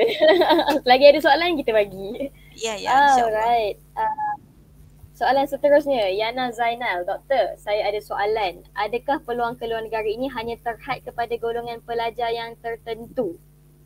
Mm-mm, no. I dah mention tadi in UiTM memang kita ada ramai yang berbagai lah kan. Uh, kita kalau pelajar tertentu ni maksud uh, semua mem- mempunyai peluang. Ya, semua mempunyai peluang yang sama rata. Cuma tadilah dari dari aspek keuangan itu saja yang mungkin membataskan uh, pelajar untuk uh, pergi ke negara yang dia sukalah. Ya, uh, tapi semua pelajar tak kira pada aras mana pun uh, mereka mempunyai peluang yang sama untuk dapat ke luar negara. Saya nak bagi tahu ni. Kalau sekiranya uh, dia uh, you, you ingat balik yang saya kata benefits of doing student mobility ni ya. Hmm, janganlah melihat hanya kepada exchange sebab exchange ni mahal contohnya ya. Tapi kalau you nak pergi kepada sama program, kalau parents you tak mampu um, tapi you berhasrat untuk pergi, maka joinlah program sama yang bersifat sama program ni ya yeah. uh, ialah uh, sebab kita kita ada banyak sebenarnya uh, ada ada beberapa kampus beberapa fakulti yang memohon menggunakan dana tabung untuk membawa pelajar membawa pelajar ke luar negara. Tapi macam saya katalah paperwork tu kena sangat cantik, very convincing. Uh, dia punya nilai, dia punya outcome, everything must be very very good. So you can work even MPP sekalipun ya MPP kalau you nak pergi a certain program yang bersifat leadership kan contohnya or teamwork or whatever it is and it is a summer program. Yes uh, find uh, apa ni you you have to work with your penasihat uh, and come up with a very very good paperwork. Uh, and I think the chance is there. So dalam MPP tu tak semestinya siapa-siapa lah. Basically uh, my, my answer is that no it is not limited to certain people. Everyone can. Even if you anak datuk. Cuma tu lah. Kalau you dah T20 kalau you tak minta pakai duit UiTM kami sangat bersyukur. Tapi kami bantu dari aspek tertentu lah. Maksudnya kalau you just need the money to buy uh, ada one student ni dia pergi Jerman uh, for exchange ya. Uh, dia pergi ke Jerman. Tahu-tahu saja uh, saya tanyalah dah apply ke? Dana melalui liaison officer ya. Saya tanya student ni jadi ke pergi? Pergi doktor. Dah apply dah visa everything dan dapat pun. Dan kata student uh, doktor student ni dia cuma minta dia adalah minta sikit duit je. Duit dia dalam tak tahulah berapa. Dia minta sikit sangat duit yang dia minta tu. Sebab parents dia can afford. So dia pergi Jerman tu kalau ikutkan under dia punya tu sendiri. Tapi kita bagi dia peluang. Kita bukakan pintu yang dia tu boleh pergi ke universiti ini uh, bawah uh, apa tu bawah exchange program. So pelajar tu dah balik dah pun. Dan saya pun dah bercakap dengan parents dia sebenarnya. so, uh, salah bercakap. so uh, itulah jawapan saya kepada soalan itu. Okay. Alright. So jawapannya tidaklah tidak terhad. Mm-mm. So uh, soalan seterusnya daripada Nurin Fakihah. Doktor saya ada soalan apakah faktor yang sepatutnya dititik beratkan sekiranya saya memilih untuk studi ke luar negara? Uh, soalan saya uh, okay soalan saya lah studi ke luar negara ni uh, under long term ke short term ke macam mana? Uh, adakah uh, semasa masih belajar di UiTM ataupun bagaimana? Um, mungkin Nuri Fakih masih belajar di UiTM. Ah, is it it? Ah, okay. Kalau masih belajar di UiTM, okay, of course you, ya, yeah, faktor yang sepatutnya dititik beratkan untuk uh, a bit, uh, jap, eh, a bit difficult to answer. Dia nampak macam senang kan? Sekiranya saya memilih untuk study keluar negara itulah macam saya kata um, kalau you masih pelajar UiTM uh, you nak um, the chance yang you nak pergi tu adalah untuk exchange program internship uh, research attachment uh, training ya yeah? um, ataupun you pergi kepada program-program bersifat sama program shorter shorter terms ya yeah? apa yang perlu dititikkan beratkan eh, dititik beratkan of course kesihatan you kena dan your ability your ability to adapt ya ability to adapt. Sebab kita kita takut juga ada bukan sahaja pelajar ya. Ada juga orang dewasa yang diberi peluang pergi ke luar negara tiba-tiba jatuh sakit. Ha, benda macam tu. And you kena uphold lah uphold nama. Nama keluarga nama universiti uh, nama negara. Uh, of course, you have to work hard. Kalau you buat uh, ambil kursus ia belajar uh, untuk exchange program, you have to work hard lah. You have to work hard sebab biasanya pelajar yang terpilih, pelajar-pelajar yang pergi untuk exchange ni adalah pelajar yang terpilih. Ya bukannya uh, of course kalau saya dapat uh, 3.0 je dah boleh mohon. Memang betul boleh di, boleh mohon. Jadi you kena kena uphold lah benda tu ya kena uphold uh, the aspect that you are actually a good student sebab ada recommendation sebenarnya daripada uh, pihak uh, campus ataupun fakulti kena bagi recommendation kenapa select student ini some some universities dia tak tengok pun uh, recommendation some uni- macam saya bila saya dapat recommendation letter daripada pelajar yang nak masuk ke UiTM ni uh, saya serah kepada fakulti kalau fakulti ni saya hantar terus kepada fakulti. Fakulti lah yang akan ni. Saya rasa sama jugalah kalau you nak pergi ke universiti luar negara, recommendation letter tu penting. Uh, dan dalam recommendation letter tu sebab ini open recommendation letter kadang-kadang student boleh baca. Uh, you boleh tengok lah kat situ lecturer you cakap apa berkaitan uh, berkenaan you. Jadi you kena jaga part tu. Part yang lecturer you kata you bagus lah what not tu ah uh, yang tu you kena jaga. Ya. Yeah uh, of course uh, jaga diri you elok-elok lah uh, pergi ke luar negara ini uh, can be a culture shock to to many uh, that's why I said just now uh, your ability to adapt your ability to adapt ability to understand the culture uh, and to remember who you are I think I answer your question Alright, saya pun rasa soalan tu, uh, jawapan tu telah menjawab soalan lah. Okey, uh, ada soalan lagi satu bukan daripada Nur. Kita proceed dengan lagi dua soalan boleh, Doktor? Boleh, boleh. So soalan daripada Nur Nabilah Najwa. Kalau untuk internship, kita hanya boleh apply di universiti sahaja atau di company atau organisasi lain juga? Ah, okey. Ada je boleh, you boleh apply kat mana-mana pun sebenarnya. Uh, tetapi um, urusannya uh, okey kalau katalah you nak pergi negara manalah ke Australia lah. Contohnya kan ke Australia untuk internship di satu company.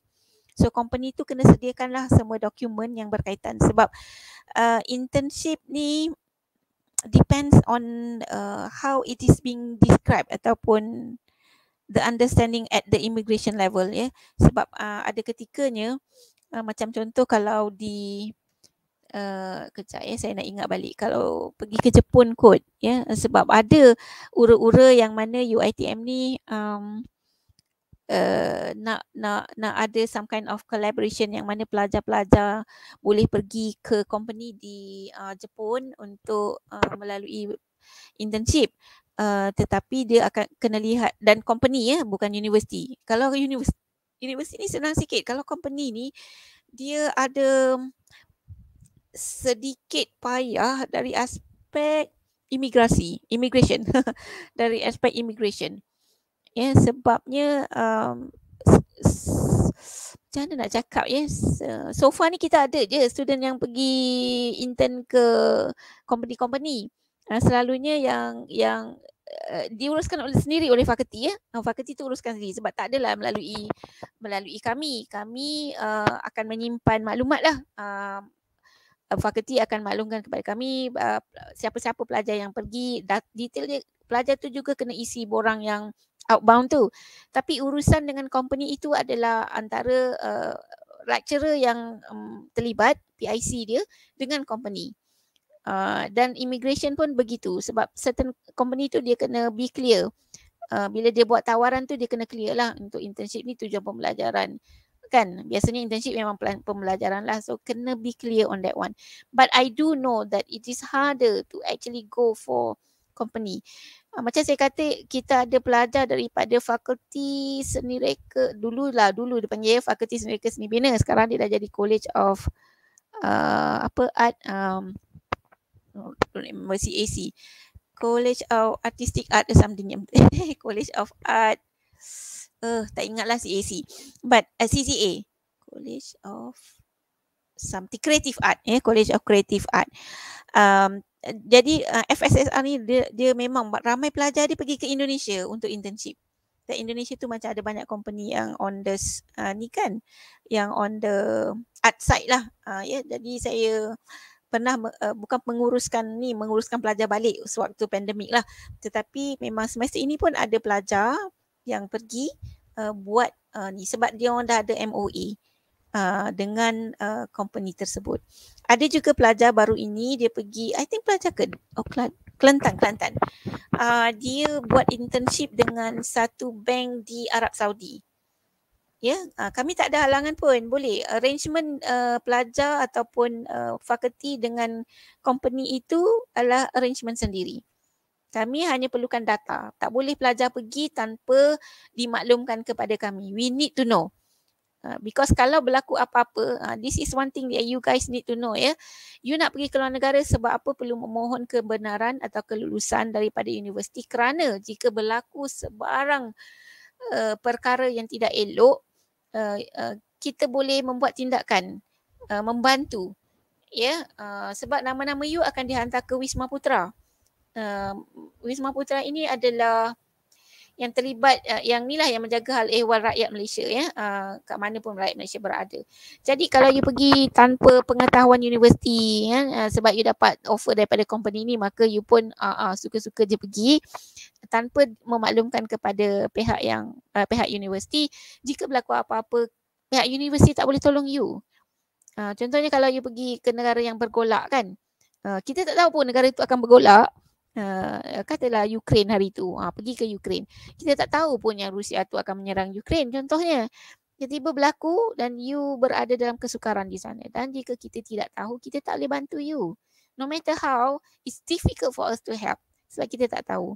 Jadi uh, again coming back so panjang lebar jawapan saya ni cuma untuk memberi makluman lah kepentingannya untuk kita dimaklumkan. Dan memang tidak ada uh, apa halangan untuk you mohon ke mana-mana sekalipun you nak pergi untuk internship. Uh, cuma urusan dia adalah uh, antara PIC kalau you you pergi tu lecturer you tahu ataupun lecturer itu yang recommend. Uh, jadi antara PIC dengan company. Company kena provide semua yang berkaitan dengan urusan visa jika diperlukan. Ya, jika diperlukan oleh embassy.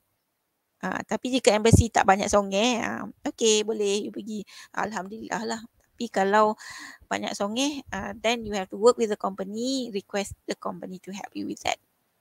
So memang tak ada isu, boleh je pergi ke mana saja yang you nak. Saya dah bagi contoh tadi kan.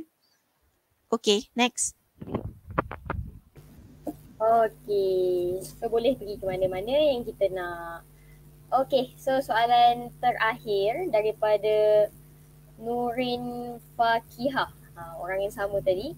Can I still mm-hmm. graduate on time if I study abroad? Uh, boleh tak doktor?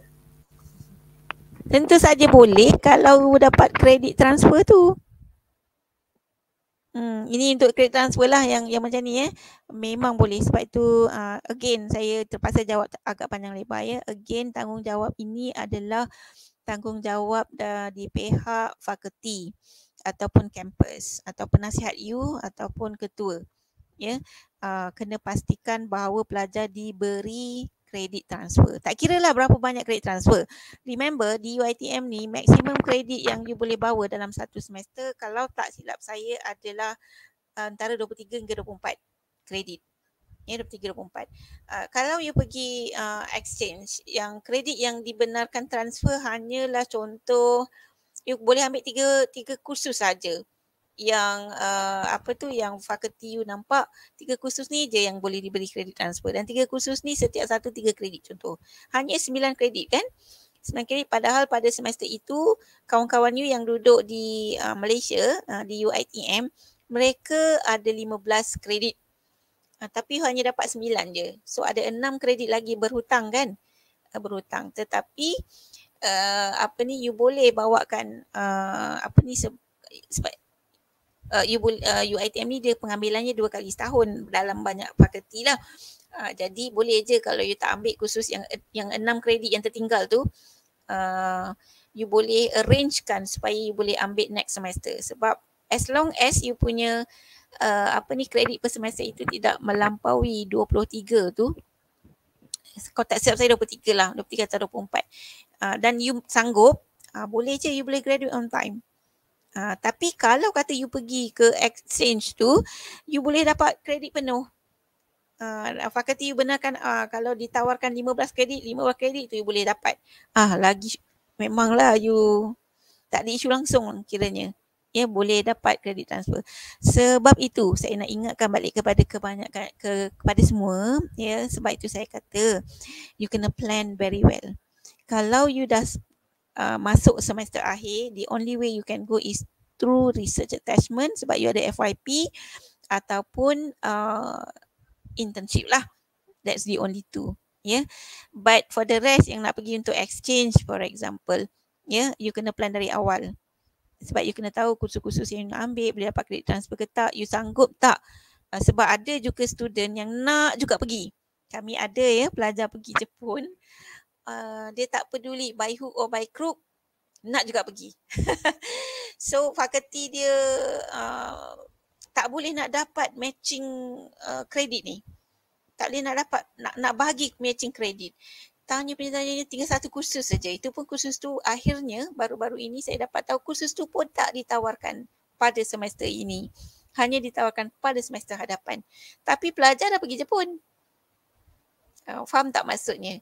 Uh, pelajar ini dia tak ambil kisah nak dia dan pelajar ini kata dia sanggup repeat. Sanggup repeat. So again, it is for you. You decide. Kalau you sanggup repeat uh, sebab you tak boleh nak ni, ada. Uh, saya nak bagi tahu juga, saya ada juga seorang pelajar. Masya Allah, rajinnya dia tapi buat online lah. Dia tak pergi physical, buat online saja. Tapi dia enroll to the program. Okay, what happened? Uh, dia dia tahu dia takkan dapat kredit transfer. Ya, dia tak akan dapat kredit transfer sebab bila saya bertanya dia kata tak dapat pun kredit transfer doktor. Dia kata Allah habis tu macam mana you ambil juga? Tak apa doktor saya ambil je. Dia ambil tiga kursus kot. Uh, Japan. Eh, di Jepun secara online. Ah, uh-uh, ya betul. Dan pada masa yang sama dia mengikuti semua kursusnya di di UiTM ni. Sebab dia tak pergi kan? Dia duduk sini, tak ada satu pun yang ada drop, dia ambil katalah dia ada enam kursus, semua enam kursus dia ambil termas dan tambah lagi tiga kursus. Ya, tambah lagi tiga kursus rajinnya. Saya pun tak tahu. Saya tanya dia macam mana you manage. Tapi sebab kebanyakan kelas dia adalah online. Jadi dia boleh manage. Tapi kalau katalah sekarang ni dah bermula fizikal. Payahlah sebab kehadiran you uh, dikira kan 80% walaupun on, uh, online hari itu pun dikira 80%. Tapi you bolehlah switch uh, antara A dengan B tu. Uh, ataupun you boleh dapatkan rakaman dan sebagainya. I don't know. I don't know how you guys did it. But um, uh, it's it's really how you manage yourself lah. Yeah, how you manage yourself. So the choice is yours basically. Tapi saya betul-betul berharap plan it very well. Talk with your uh, KPP. Yeah, talk with your faculty. Let them know your intention. Work on kalau boleh work on the electives. You work on the electives. Much easier yeah much easier uh, itulah uh, nasihat saya tapi kalau you berada uh, semester hujung-hujung tu a bit difficult lah sebab kebanyakan elektif dia berlaku before sampai hujung ya jadi itulah nasihat saya kepada you please plan very well okay uh, okay i think that's uh, that's my answer Okay, so with that, uh, we are going to uh, close this Q&A session. Thank you so much for all the questions. And uh, if you have any questions or any more, maybe you can ask in the next session. Maybe if we could organize another one with Dr. Okay, um, we're getting close to the end of our time together. Uh, I believe we reached our purpose of this discussion. Before that, um doctor any any uh, last words ke before uh, leaving us today any hope or any you know any advice you would like to recommend to us okay uh thank you Auni uh just now I promise that I will give you the uh link or the URL for you to go and check on AIMS yeah, Asian international mobility for students. Yeah, uh, I I mentioned just now SEAMEO RIHED and so on.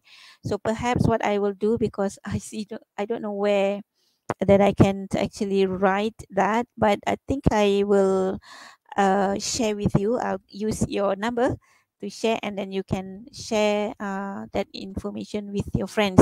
Because again, um, please make use these aims uh, fund. Ya, tabung aim ni hmm, duitnya banyak. Ya, taklah sampai berjuta. Tapi duitnya banyak. Dan you boleh dapat sampai uh, 15,000. Ya, kalau atau sekejap eh. think so. Japan and Korea sampai 15,000. Kalau you pergi ke Brunei 10,000. Uh, kalau you pergi ke Indonesia, saya rasa dalam Indonesia tak mahal lah. Maybe dalam 4,000, 5,000. I, I'm not sure. Yang tu saya tak ingat sangat. Tapi itulah saya kata duit ada. Ya, yeah, even tabung tu pun duit ada. Ya, yeah, cuma saya punya uh, ni tadi ingatkan you balik banyak pula cakap ya. Yeah. Uh, uh, beberapa tabung yang kita ada tu um, kalau scholarship tu uh, rezeki you lah ya. Uh, tetapi kalau yang tadi tabung tu, tabung dana mobility UITM tu uh, dia ada kategori ya B40 dengan non B40. Jadi mungkin kalau you parents you tak ada duit, uh, you akan dapat sikit sangat ya.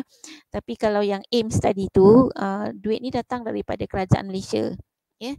Uh, dia dia bagi kat kita uh, uh, jadi um, sebab itu kita boleh bagi kepada pelajar dia punya ceiling amount tu ya yeah, uh, ceiling amount uh, in fact kalau ada lagi case di mana uh, pelajar itu kena quarantine contoh ya uh, ada quarantine kita masukkan sekali dalam tu the quarantine tu cost quarantine ya yeah.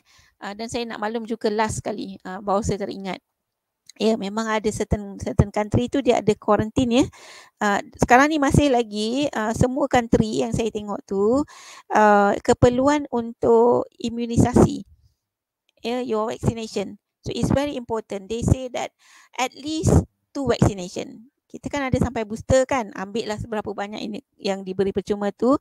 Uh, tapi most countries request to at least for you to have two vaccination into vaccination vaccinations okay and in some countries they need you to do another pcr test uh, before leaving the country so these are among the things that you have to remember uh, among the process the things that you need to do uh, when you want to go please please again last kali yeah uh, apply yeah apply for exchange apply for summer summer ni a bit difficult a bit difficult sebabnya ha, you punya kertas kerja tu kena betul-betul cun.